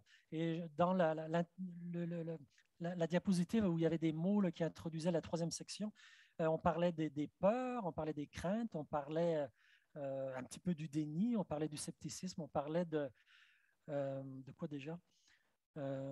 C'était quoi les autres mots? Ben, Vous n'avez pas suivi. Hein? on parlait aussi, enfin, je vais la remettre un petit peu plus tard. Voilà. On parlait, on parlait aussi de sentiment de culpabilité. Voilà, c'est ce que je cherchais. Euh, quand je suis venu ici faire cette conférence, je me sens un petit peu coupable. ça me prend du pétrole pour venir ici. Mais on ne peut pas s'en sortir. On est, on pris dans cet engrenage. Euh, il y a aussi, euh, on a tendance aussi à s'accuser mutuellement de ne pas faire assez de choses. Donc voilà, dans cette troisième partie, on, on, on est rentré un peu dans le phénomène des changements climatiques. On m'aime beaucoup. Et puis, dans la, dernière partie, on va se demander mais qu'est-ce qu'on peut faire quand on a l'impression que finalement on ne sait pas trop quoi faire? On est comme des petits individus sur une grande planète et on, voit bien ce qui se passe, mais on, se sent un petit peu impuissant. Et puis on va terminer en, se, euh, enfin je vais essayer de vous dire pourquoi c'est tellement important d'apprécier la nature autour de nous et d'apprécier les conditions dans lesquelles on vit malgré ces problèmes-là. Je te laisse la suite, Jean-Christophe, et puis on revient pour la dernière partie. Merci. Euh, évidemment, moi, je vais m'occuper du volet observer la beauté de la vie parce que ça fait un peu partie de mon métier. Euh, quotidiennement, je suis capable d'aller voir des scènes qui sont grandioses. Vous en avez vu quelques-unes. Les caribous au sommet des chic-chocs, le renard croisé à Terre-Neuve. Euh, donc, plein de photos, puis plein d'environnements, puis d'animaux qui sont vraiment magnifiques. L'étoile de mer, ici, vous voyez, par exemple, c'est à Pointe-au-Père. Puis souvent, moi-même, quand je suis arrivé à Rimouski, euh, je n'étais pas au courant de tout ce qui se passait dans l'estuaire du Saint-Laurent. À mes yeux, il y avait plein de choses, mais je n'avais pas idée qu'il y avait autant d'étoiles de mer, qu'il y avait autant d'oursins, autant de phoques, autant de vie, bref. Et puis, ça a été une belle surprise pour moi quand j'ai fait le bac de découvrir tout ce qu'on y retrouvait, autant dans le golfe que dans l'estuaire directement. Tout ça pour dire que ces grandes beautés-là sont très, très, très fragiles. Puis nous, dans notre tête, même si c'est un petit, petit changement, ça peut avoir un impact qui est immense sur tout ce qui est biodiversité et sur l'environnement de façon générale. Puis spécialement dans le milieu marin. Dominique l'a souligné, c'est extrêmement fragile. Par exemple, une augmentation de 0,1 degré de la température de l'océan peut avoir un impact immense sur la survie de certains coraux. c'est la même chose avec le homard d'Amérique dont je vous ai parlé tantôt. Lui aime les températures entre 15 et 20 degrés. Mais si on change de braquette, bien, le homard, lui, va décider de migrer vers le nord, changer son aire de distribution. Ça va peut-être avoir un impact sur d'autres espèces. Tout ça pour dire que les petits changements qui nous paraissent anodins ont parfois vraiment un immense impact. Je vous partage une dernière anecdote parce que c'est une photo qui m'est très, très chère. Euh, non seulement parce que c'est une espèce aussi, vous l'aurez deviné, c'est un beluga qu'on retrouve euh, dans, le Saint-Laurent aussi. C'est une espèce qui est en déclin depuis plusieurs décennies. Euh, pour des raisons qu'on est capable d'émettre des hypothèses, mais ce n'est pas, pas, nécessairement très, très clair, même si on est capable de mettre le doigt sur certaines choses. Et puis, j'ai eu la chance de travailler, même le privilège de travailler sur un bateau de la garde côtière canadienne, un brise-glace qui s'appelle la Moonsen. Donc, c'est un navire de recherche scientifique qui sert également de brise-glace. Pendant la mission scientifique qui était organisée, euh, qui s'appelait Odyssée Saint-Laurent, par le réseau Québec Maritime qui est basé à Lucar, ben, à n'importe quel moment, on pouvait recevoir, par exemple, un appel euh, pour dire Salut, je suis dans la baie de Gaspé, j'ai besoin de passer. Donc, on annule tout ce qui était station d'échantillonnage, on allait briser de la glace, on revenait à la science. c'est vraiment de l'opportunisme au niveau des scientifiques, et puis les installations sont vraiment fascinantes. Tout ça pour dire qu'on naviguait dans le coin du fjord du Saguenay. Puis dans le coin du fjord, euh, on a toujours des bonnes chances d'observer des mammifères marins. Il y a plein de choses qu'on est capable de voir, spécialement dans la période durant laquelle on était euh, présent. Et puis il y a des belugas aussi. Donc, au large, je commence à regarder un petit peu plus. Très, très souvent, si je n'étais pas dans les laboratoires en train de prendre des photos, j'étais sur le pont en train de regarder ce qui se passait parce que c'était tellement beau. Euh, puis on n'a pas beaucoup la chance d'aller sur l'eau l'hiver. Nous, on était comme fin mars environ, fait que c'est vraiment de toute beauté. Donc, je repars un petit dos blanc au large, puis je reconnais tout de suite que c'est un beluga. Je suis déjà content de l'avoir vu dans son environnement naturel parce qu'on n'en voit pas fréquemment, du moins pas de notre côté à nous, du côté sud, à Rimouski. Et puis là, 45 minutes vont passer, on va continuer de naviguer. Puis là, on arrête à une station d'échantillonnage pour faire des expériences scientifiques. Puis là, j'ai été chanceux parce que euh, des fois, on fait des stations d'échantillonnage où il va y avoir des mouillages ou des rosettes ou autres où on n'arrête pas les moteurs du navire. Tout continue de tourner, ça fait du bruit, on entend moins bien. Mais pour celle-ci, il fallait arrêter les moteurs parce que dans les laboratoires, c'était tellement précis comme expérience qu'il fallait qu'il y ait le moins de vibrations possible. Puis quand les moteurs s'arrêtent, on dirait qu'on réentend tout ce qui se passe alentour de nous, surtout sur le pont avant. Donc, j'ai pris mes photos en laboratoire des scientifiques. Après ça, je suis allé à l'extérieur. Puis là, j'ai entendu un souffle. Les journées étaient vraiment longues sur le bateau euh, parce que je prenais beaucoup d'images. J'ai entendu le souffle, mais je ne voyais rien. Je me suis dit, bon, JC, tu dois être fatigué, euh, passe à autre chose. Mais là, je vois le beluga qui passe directement sous le navire. Je le vois à 90 degrés en regardant vers l'eau, puis là, il passe en dessous. Là, je commence à être fébrile puis excité parce que je me dis, OK, c'est sûr qu'il ressort de l'autre côté. Mais finalement, c'est pas ça qui est arrivé. J'ai vu une queue blanche qui était vraiment, vraiment loin. Puis là, je me suis dit, bon, ça y est, il est reparti, il a passé à autre chose. Mais non. Quelques minutes plus tard, je reste patient, je demeure sur le pont. Puis là, je revois le beluga, mais il s'en vient directement vers moi. Je regarde le fond de la salle, il était à peu près là. Puis là, il sort, sort, sort. Puis là, il finit par arriver juste à mes pieds. Puis il nous regarde. Puis là, il replonge. Puis je ne sais pas si vous avez déjà vu un beluga de près, mais là, vous le voyez peut-être. Ils ont toujours l'air d'avoir une espèce de sourire. C'est comme s'il était venu nous dire bonjour. Puis lui, on dirait qu'il y avait un élan d'optimisme qui m'a vraiment donné euh, beaucoup de joie puis beaucoup d'excitation, non seulement parce que je le voyais, mais aussi de la façon qu'il est venu à la surface. C'était vraiment comme s'il venait pour nous saluer. il va être resté environ 45 minutes autour du bateau. Puis à un certain point, là, ils ont fait l'appel pour dire Salut, il y a un beluga qui se promène alentour du bateau. Si vous voulez aller voir, allez-y, c'est vraiment impressionnant. Fait qu'on s'est ramassé une vingtaine sur le pont à l'observer, euh, des scientifiques, des professeurs, des membres de l'équipage, les matelots. Moi, j'étais là aussi. Bref, tout le monde s'y est retrouvé parce qu'on voulait absolument le voir. Puis oui, j'ai des photos mémorables, puis oui, je suis vraiment content de pouvoir l'avoir vu et d'avoir des dizaines d'images, mais ce qui m'a le plus frappé, c'est que personne qui est resté indifférent à ce moment-là. C'est impossible, en fait. On voit le beluga venir à presque nos pieds, puis si j'avais voulu sauter dessus en dehors du bateau, j'aurais pu. Évidemment, je ne le ferais pas, mais il était tellement prêt, puis on a tellement eu un moment intime avec la faune que tout le monde est resté ébahi, puis on en a reparlé pendant des jours après. C'était un moment fort. Peu importe les résultats scientifiques qu'il y a eu, tout le monde était content du beluga. J'exagère, mais vous comprenez que ça a été vraiment un beau moment pour tout le monde qui était sur le navire, moi inclus. Même chose que pour les caribous, je risque de jamais revivre ce moment-là. Puis je pense que même si j'avais été dans l'eau pour faire de la photo sous-marine, non seulement ça aurait été plus néfaste pour le beluga en tant que tel, mais je pense que j'aurais eu des moins bonnes photos que la vision que j'avais qui était vraiment en plongée à partir du bateau puis qui me donnait une belle clarté, euh, une belle clarté d'eau, comme si j'y étais en fait. Depuis euh, quelques années, je partage mes images sur les médias sociaux, euh, les Instagram, les Facebook et autres de ce monde. c'est des plateformes qui sont grandement critiquées. Moi, le premier, je ne suis pas ultra fan, mais ça me sert vraiment d'un moyen de communication qui est super efficace. Je suis capable de partager de l'information avec des gens auxquels je n'aurais jamais contact si ce n'était pas des médias sociaux. Puis au fil des ans, j'ai développé une base avec des dizaines de milliers de personnes. Puis à chaque jour, je suis capable de publier une image. Puis ce que j'essaie de faire le plus possible, puis je le faisais moins au début, parce que dans ma tête, l'image était capable de parler d'elle-même, mais ce n'est pas tout le temps le cas. Je réalise que les gens vont découvrir des nouvelles espèces qu'ils ne savaient pas qu'on avait au Québec. Ils vont découvrir des nouveaux paysages, des nouveaux environnements. Puis ils vont réaliser aussi à quel point notre biodiversité est unique, elle est riche. Puis on est vraiment chanceux d'avoir ça ici au Québec puis dans le pays.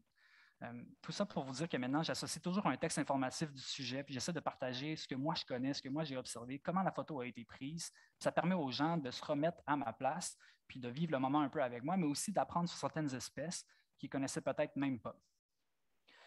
Puis d'autres réactions que je vais avoir, euh, même dans mon entourage immédiat, c'est Ouais, mais tu n'avais pas peur. Tu n'avais pas peur du coyote, tu n'avais pas peur de l'ours noir, tu n'avais pas peur du lynx.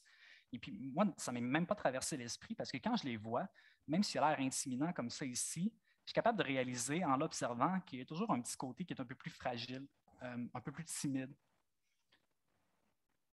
La même coyote que je viens de voir, qui était un peu plus en mode chasse, avec un regard un peu intimidant, qui peut faire peur à certaines personnes, ben, il a presque l'air de sourire des fractions de secondes après. Puis on a toujours des moments comme celui-ci en nature qui me font réaliser que euh, oui, ils ont des grosses canines, oui, ils ont l'air imposants, oui, ils sont massifs, mais ils sont aussi fragiles que nous, on est capable de l'être. Puis quand on est capable de contempler, puis de s'arrêter, puis de vraiment admirer ce qu'on a autour de nous, bien, ça devient intuitif de vouloir le protéger. Ça devient facile. Moi, je les trouve tellement beaux que j'aurais jamais le goût de les chasser, par exemple.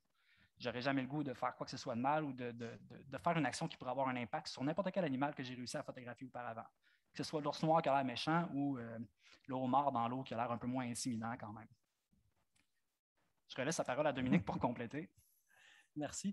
Alors, qu'est-ce qu'on peut faire euh, quand on a l'impression qu'on ne peut pas faire grand-chose et puis pourquoi c'est important? Mais Jean-Christophe va déjà beaucoup, beaucoup élaborer sur ce sujet-là, euh, de savoir observer, apprécier la nature. Bon, on voit sans arrêt des articles. Hein, euh, concrètement, que peut faire le citoyen Alors, on lit ça, puis on se dit, OK, j'ai peut-être trouvé cette fois-ci ce que je peux faire de plus important. Alors, bon, euh, les transports, faites attention aux transports, notre alimentation, notre, notre habitation, essayez de prendre les bonnes décisions, nos voyages, quand même bien calculer ça, pas sans arrêt prendre l'avion pour un oui, pour un non. puis tous nos achats, c'est toujours important. Et puis l'implication sociale. Donc, tout, tout, ce qu'on fait, en fait, est, est important. Et voici une implication. Demain, il y a des dizaines de milliers d'étudiants au Québec qui vont être en grève, pas de cours et certains vont être dans la rue, certaines vont être dans la rue, comme il y a deux ans. Et euh, peut-être on aura des milliers d'étudiants dans la rue à Montréal pour le climat. C'est quand même assez euh, incroyable qu'on en, soit, rendu là des manifestations contre les changements climatiques, mais c'est une des manières d'exprimer toutes ces émotions-là et de se rencontrer et puis euh, de faire pression, évidemment, mais euh, aussi juste d'échanger et de se rassurer un petit peu. Et pour terminer, vous êtes tellement attentifs, là, c'est à la fois pas juste nombreux, mais attentifs, c'est vraiment agréable. On aurait dû faire deux heures, pas juste une heure. Mais je vais terminer avec un petit exercice et je vais avoir besoin que vous m'aidiez un petit peu. Alors, on vit une crise climatique, une crise de la biodiversité, une crise environnementale. Il y a aussi d'autres problèmes environnementaux. Et une crise, c'est quoi? C'est un moment de vérité, c'est un moment de changement. Ça, c'est dans l'étymologie du mot crise, ça vient du grec, c'est vraiment dans la, construction du mot. Mais c'est une crise qui est forcée de l'extérieur. On, on, aurait préféré l'éviter, cette crise-là. Et euh, c'est pas désiré. Puis il y a clairement un grand défi à surmonter. Et les crises, on peut en vivre des crises personnelles. On peut, ça peut s'appliquer à une personne. Là, ça s'applique à toute l'humanité. Et euh, il existe pour les personnes des thérapies de crise. Puis là, je me suis permis de reprendre une photo euh, de Jean-Christophe, GC. Euh, à gauche, vous voyez, on est dans la brume, dans le brouillard, et puis à droite, on est dans la lumière et dans le soleil. Puis, quand on vit une crise, on ressort si possible, c'est ce qu'on souhaite dans le soleil. Parfois, ça se peut qu'on n'y arrive pas. C'est pour ça qu'on a des suicides, c'est pour ça qu'on a, on a, on a des, drames. Puis les psychologues, euh, une partie de leur travail et la psychologie, une partie de ces avancées, ça a été de, de un peu mieux comprendre quels sont les facteurs qui font qu'une personne elle va plus facilement ou plus difficilement sortir d'une crise. Et il y a quelques années, j'ai lu, il y a deux ans, j'ai lu un livre, il venait, toujours de sortir, euh, de quelqu'un qui s'appelle Jared Diamond, qui a écrit euh, plusieurs livres depuis 10-15 ans, euh, Guns, Germs and Steel, et d'autres qui sont la plupart traduits en français. Et le dernier, en tout cas c'est celui qu'il a publié il y a deux ans, s'appelle Upheaval, et je ne sais pas s'il est traduit en français, peut-être. Et en gros, ce qu'il a fait, je pense que sa femme est psychologue, et en gros, ce qu'il a fait, c'est qu'il a regardé les facteurs qui font en sorte qu'une personne va se sortir plus ou moins d'une crise personnelle. Et il s'est demandé si on pouvait prendre ce cadre de réflexion pour les nations. Quand une nation, un pays vit une crise, ça peut être une crise sanitaire, ça peut être une crise économique, ça peut être une crise militaire, comment est-ce que le pays s'en sort ou ne s'en sort pas? C'est-à-dire tombe dans la guerre. Vous voyez, Haïti euh, vit beaucoup, beaucoup de crises les unes par-dessus les autres et n'arrive pas à s'en sortir. D'autres pays s'en sortent. Donc, il a fait ce, ce, travail-là. Ça lui a pris tout un livre. Puis je me suis dit, tiens, ce serait intéressant de faire la, même réflexion, de prendre ces différents facteurs et de se dire, est-ce qu'on peut les appliquer à l'humanité et voir si on a les outils qu'il faut pour se sortir de cette grande crise-là. Donc, je vais essayer de faire le... Alors, voilà le, livre que j'avais dans les mains. J'ai oublié de vous le montrer à l'écran. Et puis, il y a un tableau dans ce livre où il liste tout un, tas de facteurs, 12 facteurs. J'en ai choisi quelques-uns. On ne va pas passer les 12, mais je vais en prendre quelques-uns. Je vais vous les expliquer. Puis on va voir si euh, l'humanité, elle a les ressources pour sortir de cette crise. Alors, il y en a huit. Euh, j'avais peur que ce soit trop et trop long, mais euh, je vais vous les expliquer un par un. Et puis, vous allez m'aider à, à, voir si, quand on les applique à l'humanité, on a ce qu'il faut ou pas. Alors, pour un individu, si on a une grosse crise, ça peut être une grosse maladie qui nous tombe dessus, ça peut être euh, une, immense peine d'amour, ça peut être un burn-out, ça peut être une dépression. Il y a tellement de, il y a tellement de choses qui peuvent provoquer des crises. Et puis, voilà, on est dans la crise. Un des premiers facteurs qui va nous aider à nous en sortir, ou au contraire qui va nous ralentir, c'est si on accepte qu'on est dans un état de crise. Au moins, ça, c'est le premier pas. Alors, quand on applique ça à l'humanité, est-ce que, comme humanité, on accepte que l'on est dans un état de crise environnementale? Selon vous, est-ce que on, a, on est arrivé là à l'accepter ou pas?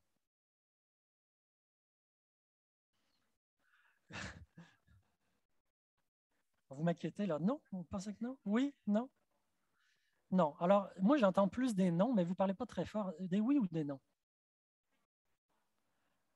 Bon, j'entends des oui et j'entends des non. Alors, c'est un petit peu équilibré. Moi, j'avais mis un oui, mais je vais le corriger pour mettre un oui-non. Donc ça, c'est le premier facteur. Il faut qu'on l'accepte. Évidemment, si on fait du déni, du négationnisme, tout ça, ça on ne peut pas l'accepter. Le deuxième facteur important pour une personne, c'est qu'on a d'accepter qu'on a un rôle à jouer. C'est-à-dire que si on attend juste une pilule du médecin, euh, si on reste couché puis qu'on attend, ça va être beaucoup plus dur de s'en sortir que si on accepte qu'on a des petits pas à faire, des petits efforts à faire qui vont devenir plus grands après. Ça, c'est une étape importante aussi dans une crise personnelle. Alors, comme humanité, est-ce qu'on accepte qu'on a un rôle à jouer? Ah ben là, j'entends que des oui.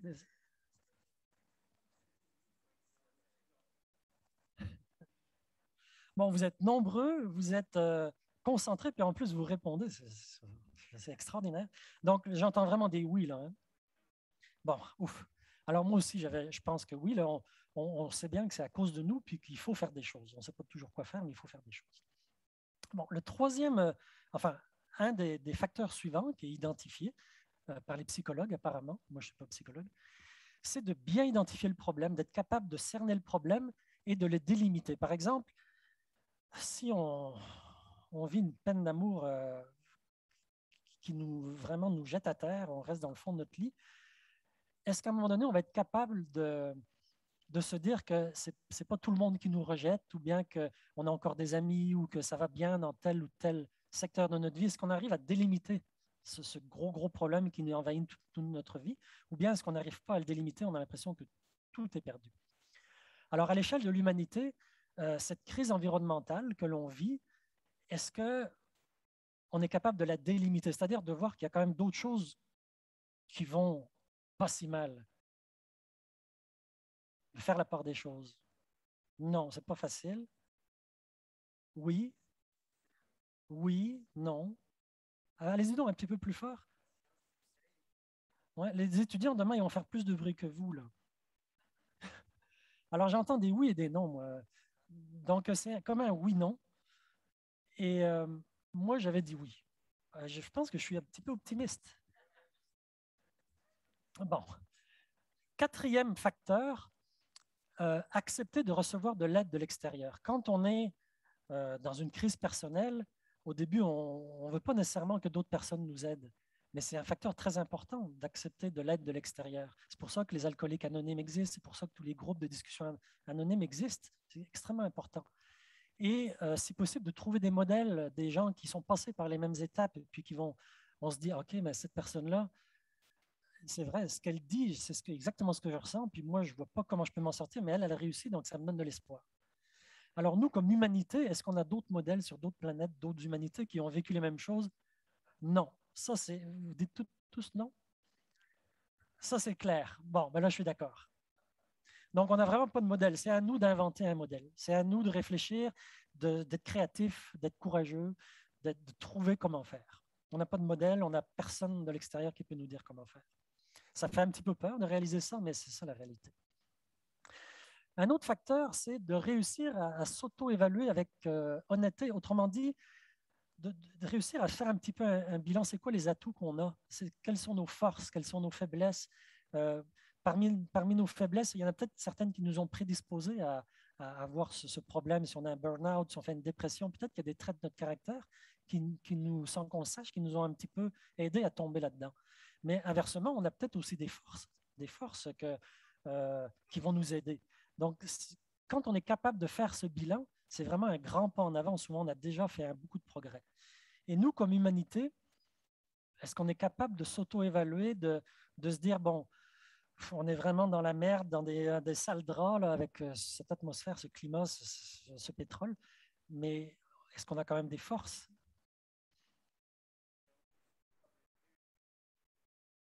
Bon, alors j'entends plein de oui, et puis toutes sortes de commentaires mais j'ai une majorité de oui. 60% de oui. Alors, on est d'accord. Bon. Euh, un autre facteur que les psychologues identifient, c'est si on a eu des crises, des expériences euh, dans le passé sur lesquelles on peut s'appuyer, qui nous donnent confiance qu'on est capable de s'en sortir. Et nous, l'humanité, tous, tous, toutes et tous, euh, partout sur la planète, est-ce qu'on a déjà vécu des grandes crises dans l'histoire de l'humanité? Oui, quand même vraiment des très, très grosses crises, très, très grosses crises, des guerres mondiales, des dizaines de millions de morts, on s'est exterminé, toutes sortes de crises.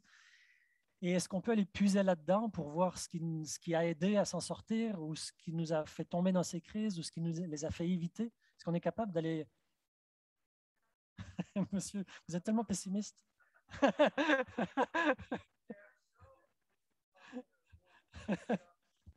Comment? Pesiox. Pesiop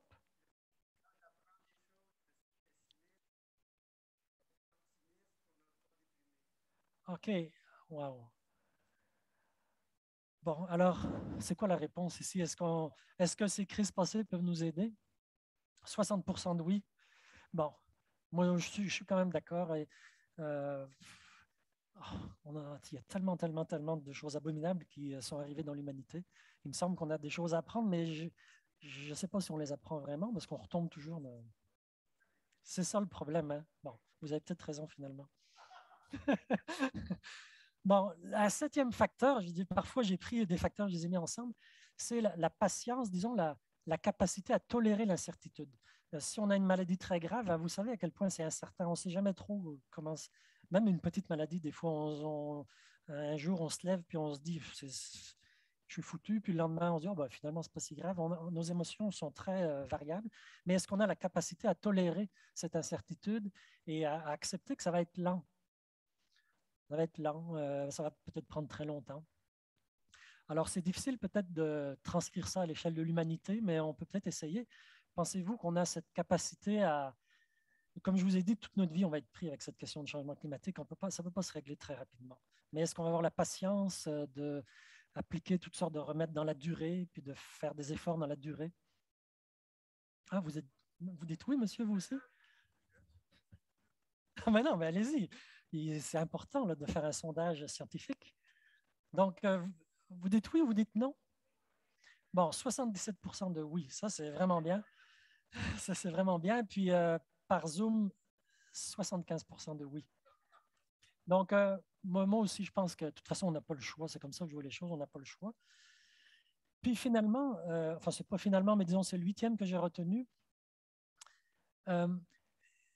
Euh, apparemment, d'après la psychologie, quand on a une personnalité très rigide ou quand on a des valeurs très profondes desquelles on n'est pas capable de déroger, c'est plus dur de sortir d'un état de crise parce que parfois ça demande tellement de remise en cause et, même des changements dans notre vie importants, euh, que la flexibilité de la personnalité, c'est un facteur qui nous aide.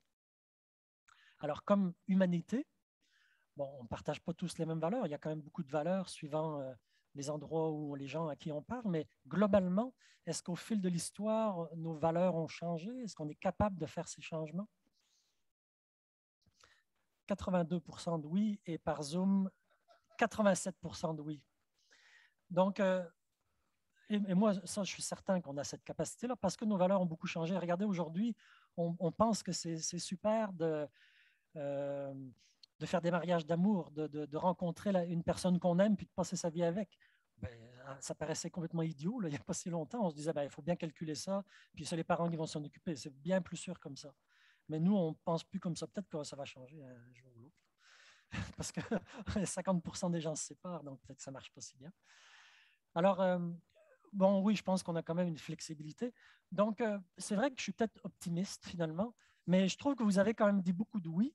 Et je pense qu'il y a deux choses. Premièrement, on est dans la, merde, disons, on est, dans la, on a des gros problèmes. Euh, il faut le reconnaître, puis on est, on est tous d'accord, surtout vous, monsieur. mais ça ne veut pas dire que c'est la fin du monde. Et je pense qu'on a les ressources pour s'en sortir, mais probablement qu'on va perdre des choses, qu'on ne retrouvera peut-être jamais. Et moi qui suis biologiste, je vois qu'on perd des espèces qu'on ne retrouvera probablement jamais. Donc, c'est un peu comme si on avait une maladie très grave. Puis, on, je crois qu'on va, on va guérir, mais on sera peut-être pas aussi en forme après. On aura peut-être perdu des choses importantes. Euh, espérons qu'on en retrouve d'autres avec notre créativité, notre, mais c'est un petit peu comme ça que je vois les choses, du moins aujourd'hui ou hier quand j'ai préparé ça. Peut-être dans la semaine prochaine, ça va être différent. Donc, euh, je ne veux pas finir là-dessus, puis j'ai emprunté une photo à, Jean-Christophe, euh, parce que c'est vrai que c'est vraiment important de délimiter les choses. Et puis, moi, quand je vais dans la nature, et quand je dis la nature, ça peut être un parc à Montréal. Quand je viens à Montréal, j'aime bien aller marcher dans un parc. Et juste de voir des plantes, de voir des oiseaux, de les entendre. Euh, l'autre jour, je pense c'est le parc Jarry. Il n'y a presque pas d'oiseaux dans ce parc. J'ai juste entendu un viréo euh, aux yeux rouges, puis c'est les seuls que j'ai entendus. Mais il reste quand même que j'étais content de l'entendre. Et donc, moi, je trouve que voir la nature, observer la nature, même si c'est une petite fleur sur le trottoir, je ne sais pas pourquoi, mais je trouve que ça donne de l'espoir. La vie est là depuis des milliards d'années. Je ne peux pas croire qu'on va, on va tout briser en quelques siècles. Donc, je suis quand même optimiste, puis je trouve que c'est très important de finir avec une note optimiste liée à la nature. Voilà, on a terminé, je pense. Hein. Merci beaucoup.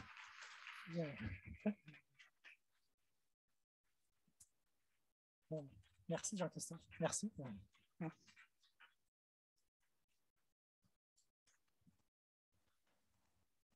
Est-ce qu'on retourne chez soi ou est-ce qu'on discute un petit peu? Ah, je sais pas. Oui, mon micro était. Je l'ai éteint en pensant l'allumer. Alors, merci beaucoup, euh, Dominique et Jean-Christophe. Si vous voulez poser des questions, il y a nos deux micros de chaque côté. Pour ceux qui sont en ligne aussi, Catherine, est-ce qu'il y a des questions déjà rentrées? Ah, on a une question. Ça va vous laisser le temps de réfléchir dans la salle.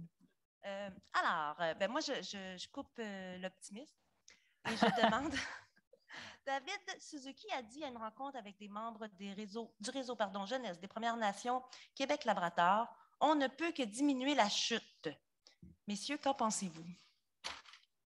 Nos efforts ne peuvent que diminuer la chute. Je te laisse débuter, Dominique. Ça va m'inspirer.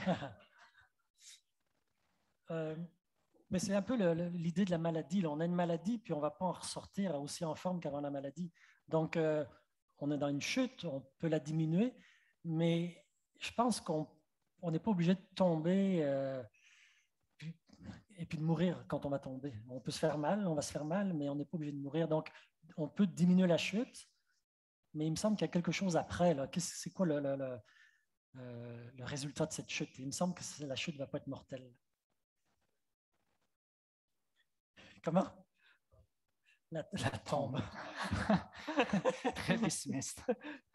Pessioc. je suis un peu dans la même voie que Dominique, en fait, pour répondre à la question. C'est moi, il y a tellement de choses qui m'inspirent au quotidien que j'ai de la misère à accepter que justement la chute va être mortelle, comme tu l'as souligné. Puis je me dis que euh, si on a été capable de faire des aussi gros changements tous ensemble, ben, j'imagine qu'on est capable d'inverser la situation également.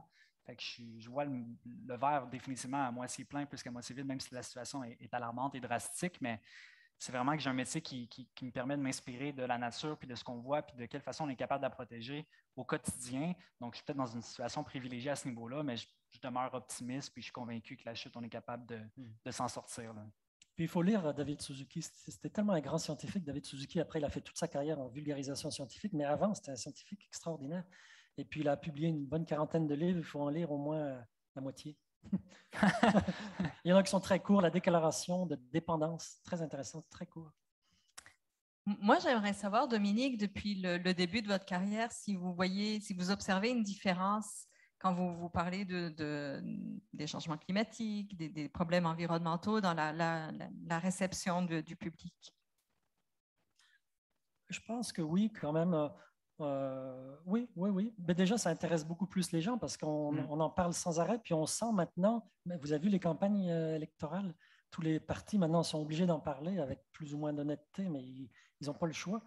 Et euh, donc, oui, c'est vraiment un sujet qui a pris beaucoup de place. Puis vous allez voir que le, sujet de la biodiversité va aussi en prendre beaucoup, beaucoup parce qu'on est en train de ce tissu vivant, là, on est en train de le, quand même de l'endommager beaucoup, beaucoup. Puis là, on commence à voir les effets aussi. Mais c'est un peu comme si on était 30 ans en arrière par rapport au changement du climat. Mais ça, on va en parler de plus en plus. D'ailleurs, Radio-Canada m'a demandé de faire une chronique toutes les semaines sur la biodiversité. Hum. Puis j'ai dit, je vais en faire une par mois. Mais c'est un sujet qui, qui, est très important. Il faut, nous, comme scientifiques aussi, qu'on en parle de plus en plus. On vous écoutera. Madame, si vous voulez poser votre question. Euh, en fait, c'est un peu comme un commentaire parce que j'ai trouvé ça intéressant la perspective euh, psychologique sur euh, comment gérer les crises et tout ça. Mais ça m'a laissé un peu sur ma faim parce que j'ai l'impression qu'on on oublie l'aspect sociologique, politique, puis que, en fait, une grosse partie des problèmes, c'est que il y a une dynamique d'acteurs qui ont des, des, des, buts qui s'opposent. Puis qu'en fait, c'est le rapport de force qu'il faut qu'il va falloir inverser à un moment donné parce que c'est ce qui nous manque. Puis, donc, j'ai l'impression que les évidences scientifiques, elles sont là, elles sont connues, mais mm. que c'est surtout le fait que ben, qu'on n'a pas les, mêmes objectifs, euh, les gens qui sont au pouvoir, puis les gens qui, euh, qui s'inquiètent euh, du sort de la Terre.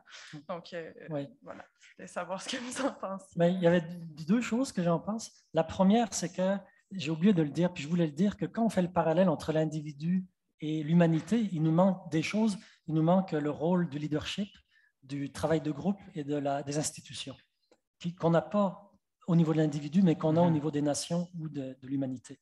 Et, ça, revient un petit peu à ce que vous dites. Je pense que cette dimension-là, je n'en ai pas du tout parlé, mais c'est vrai qu'il faut l'ajouter à cette analyse-là. Je suis tout à fait d'accord. Et puis j'avais un deuxième point euh, avant de commencer à parler. J'avais un deuxième point que j'ai oublié. j'ai vraiment oublié. Ça reviendra en répondant à la deuxième question.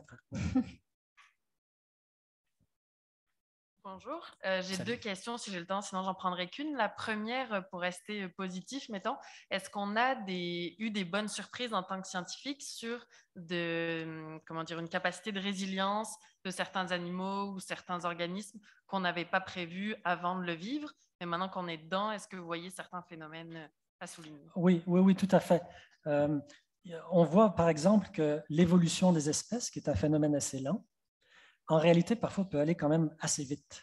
On appelle ça la microévolution, on peut la voir et ça peut parfois aller assez vite. Quand les temps de génération sont courts, c'est-à-dire les espèces qui se reproduisent vite, vite, vite. Par contre, pour un ours, un éléphant, une baleine, c'est forcément, l'évolution ne peut pas aller très rapidement. Mais parfois, oui, on, a des bonnes surprises si on veut. Oui. Et puis, donc, mon deuxième point qui est revenu, c'est que euh, ah ben non, il vient de repartir. non, mon deuxième point, c'est que, euh, pour et je peux me tromper vraiment, mais j'ai l'impression que les gouvernements, c'est simplement le reflet de ce qu'on a en dedans de nous. C'est-à-dire que si c'était clair pour tout le monde qu'on est prêt à faire des pas en avant très, très rapides, ben, les gouvernements le feraient automatiquement. Mais la réalité, c'est qu'on n'est on pas aussi prêt qu'on le pense. Hmm. Euh, on a beaucoup de bonne volonté, mais dans nos actes de tous les jours, euh, on, a beaucoup de contradictions, on a beaucoup de, paradoxes, et, il faut l'assumer. Et je pense que le, le fait que les gouvernements n'agissent pas plus vite, c'est juste que ça reflète nos contradictions. Hmm. Juste pour faire du, pouce sur la première question, avez-vous des, exemples d'animaux qui se sont plus adaptés ou euh, des, des, histoires euh, positives? Euh, oui, c'est un bon et un mauvais exemple, mais mon, collègue euh, Denis Réal à l'UCAM, euh, qu'on se connaît depuis très longtemps et on a travaillé ensemble il y a déjà assez longtemps, on étudiait des écureuils au Yukon. Et là-bas, le, climat s'est réchauffé très rapidement et on voyait que les écureuils se reproduisaient de plus en plus tôt au printemps. Et on a publié des articles où on montrait qu'il y avait une microévolution très, très rapide, beaucoup plus rapide qu'on pensait. Donc ça, c'est un bon exemple. Par contre, la science est faite de telle sorte qu'on découvre des choses et parfois dix ans après, on, se rend compte que ce qu'on avait découvert n'était pas comme on le pensait. Et effectivement, plus tard, on s'est rendu compte que ces écureuils, même si le climat continue de se réchauffer, ils n'ont pas eu cette tendance à se reproduire de plus en plus tôt qui a continué. Il y a comme eu des, un renversement de tendance. Donc, ce qu'on avait cru trouver, et finalement, on s'est rendu compte que c'était moins valable qu'on pensait. Hum. Mais c'est quand même un exemple intéressant. Et euh, du côté des, renards que vous observez, donc quel, changement vous avez, euh, vous avez noté? Alors là, c'est intéressant parce que sur l'île Bilo, où j'étudie les renards, donc ça se réchauffe très, très, très nettement. Euh, ça fond, la glace, tout ce qui est, ça fond très nettement. La végétation pousse de plus en plus, très, très nettement. Par contre, dans les niveaux trophiques supérieurs, chez les herbivores, chez les prédateurs, pour l'instant, on ne voit pas de changement. Et scientifiquement, c'est intéressant. Pourquoi est-ce que ce que l'on voit à la base, ça ne monte pas dans l'écosystème? Et on pense que c'est parce que euh, les prédateurs dans l'écosystème ont un rôle très important. Ils limitent les herbivores, la quantité d'herbivores. Et donc, même s'il y a plus de plantes, pour l'instant, il ne peut pas y avoir plus d'herbivores. Et donc, ça n'affecte pas les prédateurs. Et c'est un, petit peu, on ne s'attendait pas à ça. Et probablement qu'à un moment donné, on arrivera à un seuil où il y aura beaucoup plus de plantes, encore plus. Et là, on va avoir euh, peut-être d'autres herbivores. Mm. Mais donc, oui, on voit des changements, mais pas de tous ceux qu'on pensait voir. Madame, la deuxième question? Ah, il y a une autre. Euh, OK, alors allez-y, puis après on ah. reviendra à vous. Ben, je ne sais pas si ça, si ça, ça rentre dans ce que, qu'est-ce que vous avez présenté, mais pour moi, un geste qui est super important, qui est tout petit, mais qui a une, grande influence sur tout, sur le climat, puis sur la vie des animaux puis des mm-hmm. plantes, c'est nos déchets. Si on pourrait, chaque personne, se ramasser puis cesser de jeter des déchets dans la rue partout, me semble qu'en quelque part, on a déjà fait un grand geste. C'est vrai.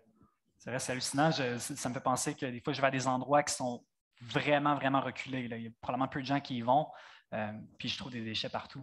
Puis même chose au large, dans l'eau, c'est probablement un exemple qui est classique. À un certain point, s'il y a deux masses d'eau qui se rencontrent, ça fait une espèce de, hmm. ligne de mer où il y a plein de débris qui vont s'accumuler, puis on va trouver des morceaux de barre de chocolat, des bouteilles, tout est classique, mais loin. Hmm. Puis ça peut être une bouteille qui a été jetée dans une rivière complètement en amont, puis qui a fini par se ramasser dans l'estuaire. C'est le même principe en forêt aussi, on en trouve partout, hmm. partout, c'est hallucinant.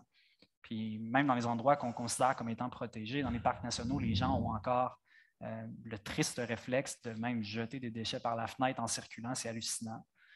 Euh, mm. C'est fou. Moi, ça me, fascine à quel point les mm. gens n'ont pas encore cette conscience-là ou le réflexe, mm. malgré qu'au Québec, on n'est pas si mal. Il y a d'autres endroits qui sont intenses, mais c'est un bon point. Tout ça pour dire que c'est un bon point, oui. Et certains de ces déchets sont invisibles, ils sont encore plus euh, sournois.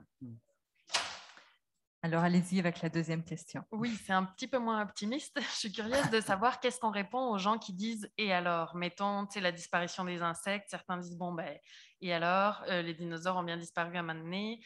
Euh, sauf que bon, là, on est responsable, puis on le sait, on a tout accéléré. Mais quand même, certains disent, ben, ma foi, euh, ça va juste finir là, puis c'est tout. Donc, qu'est-ce qu'on répond à ça, s'il vous plaît? moi, la première chose qui m'est venue à l'esprit, c'est que c'est trop facile de dire ça. On dirait que c'est une réaction qui est un peu euh, euh, très pessimiste, effectivement, comme vous l'avez souligné, mais c'est aussi qu'il y a tellement d'autres choses à faire au lieu de juste dire et alors. Puis même si on se dit que euh, on accepte la situation telle qu'elle est, puis il arrivera ce qui arrivera, ben, il faut comprendre que nous aussi, on est au milieu de la crise sanitaire, puis ça va avoir un impact immense sur nous, sur nos enfants, sur les petits-enfants, sur tout le monde. Donc, c'est un peu égoïste d'avoir une réaction comme celle-ci, mais à vous dire comment changer l'idée des gens qui se disaient alors, là, c'est un autre défi. Par mm. contre, peut-être que mm. Dominique a des solutions, mais c'est un sacré défi. Là. Mm. Mais pour moi, c'est un petit peu une question philosophique. C'est comme dire on va mourir et alors? Euh, Nos enfants vont mourir et alors? Euh, Les humains ne seront pas toujours existants et alors? La planète même et le soleil, tout ça, ça va disparaître et alors? C'est des questions philosophiques. Donc, euh, chacun y répond un peu à sa manière. Moi, je trouve que voir des espèces qui disparaissent à un rythme où on le voit en ce moment, c'est grave, on perd quelque chose. Donc, pour moi, c'est mauvais, si on veut. Mais tout ça, c'est de la philosophie de l'éthique. on peut chacun avoir des positions différentes. Catherine, est-ce qu'on a des questions en ligne? Non, il n'y a plus de questions en ligne. Bon, euh, beaucoup, beaucoup de bons mots. Bravo, merci beaucoup. Euh, belle soirée Arts et Sciences. Qu'est-ce qu'on m'a dit aussi? Euh, bravo aux deux présentateurs. Bon, Belle alors. combinaison, art et sciences. Merci beaucoup. Merci. merci. Merci à vous tous euh, qui avez assisté à, la conférence. On vous donne rendez-vous donc euh, pour la prochaine qui sera le 13 octobre, mais en ligne sur les relations entre les humains et les animaux. Je pense qu'on a d'autres questions. Oh, on avait une dernière question. Mais alors, ceux qui veulent partir, vous, pouvez partir, on va prendre la question. C'est pas de question, mais plus un mot de remerciement. Euh, juste vous remercier de vous avoir déplacé de Rimouski jusqu'à Montréal pour euh, offrir une belle présentation comme ça. Euh, pour avoir entendu chacun de vous déjà des conférences, bravo, vous avez toujours des beaux mots à dire. Puis vous êtes toujours optimiste, comme on a bien aimé le dire pendant toute la présentation. Et merci de prendre aussi de chacun de votre, de votre façon des preuves du passage des animaux qui ne seront peut-être pas là dans quelques jours, dans quelques siècles. Donc, euh, merci de par les photos ou par des ouvrages scientifiques de laisser des preuves comme ça. Merci. Merci pour ce beau commentaire. Puis nous aussi, on vous remercie parce qu'on sait que c'est tout un parcours de combattant d'aller dans des activités publiques. merci, merci beaucoup, monsieur. Euh, juste euh, pour répondre à la personne qui disait Et alors Moi, je dirais à cette personne-là Est-ce que vous avez des enfants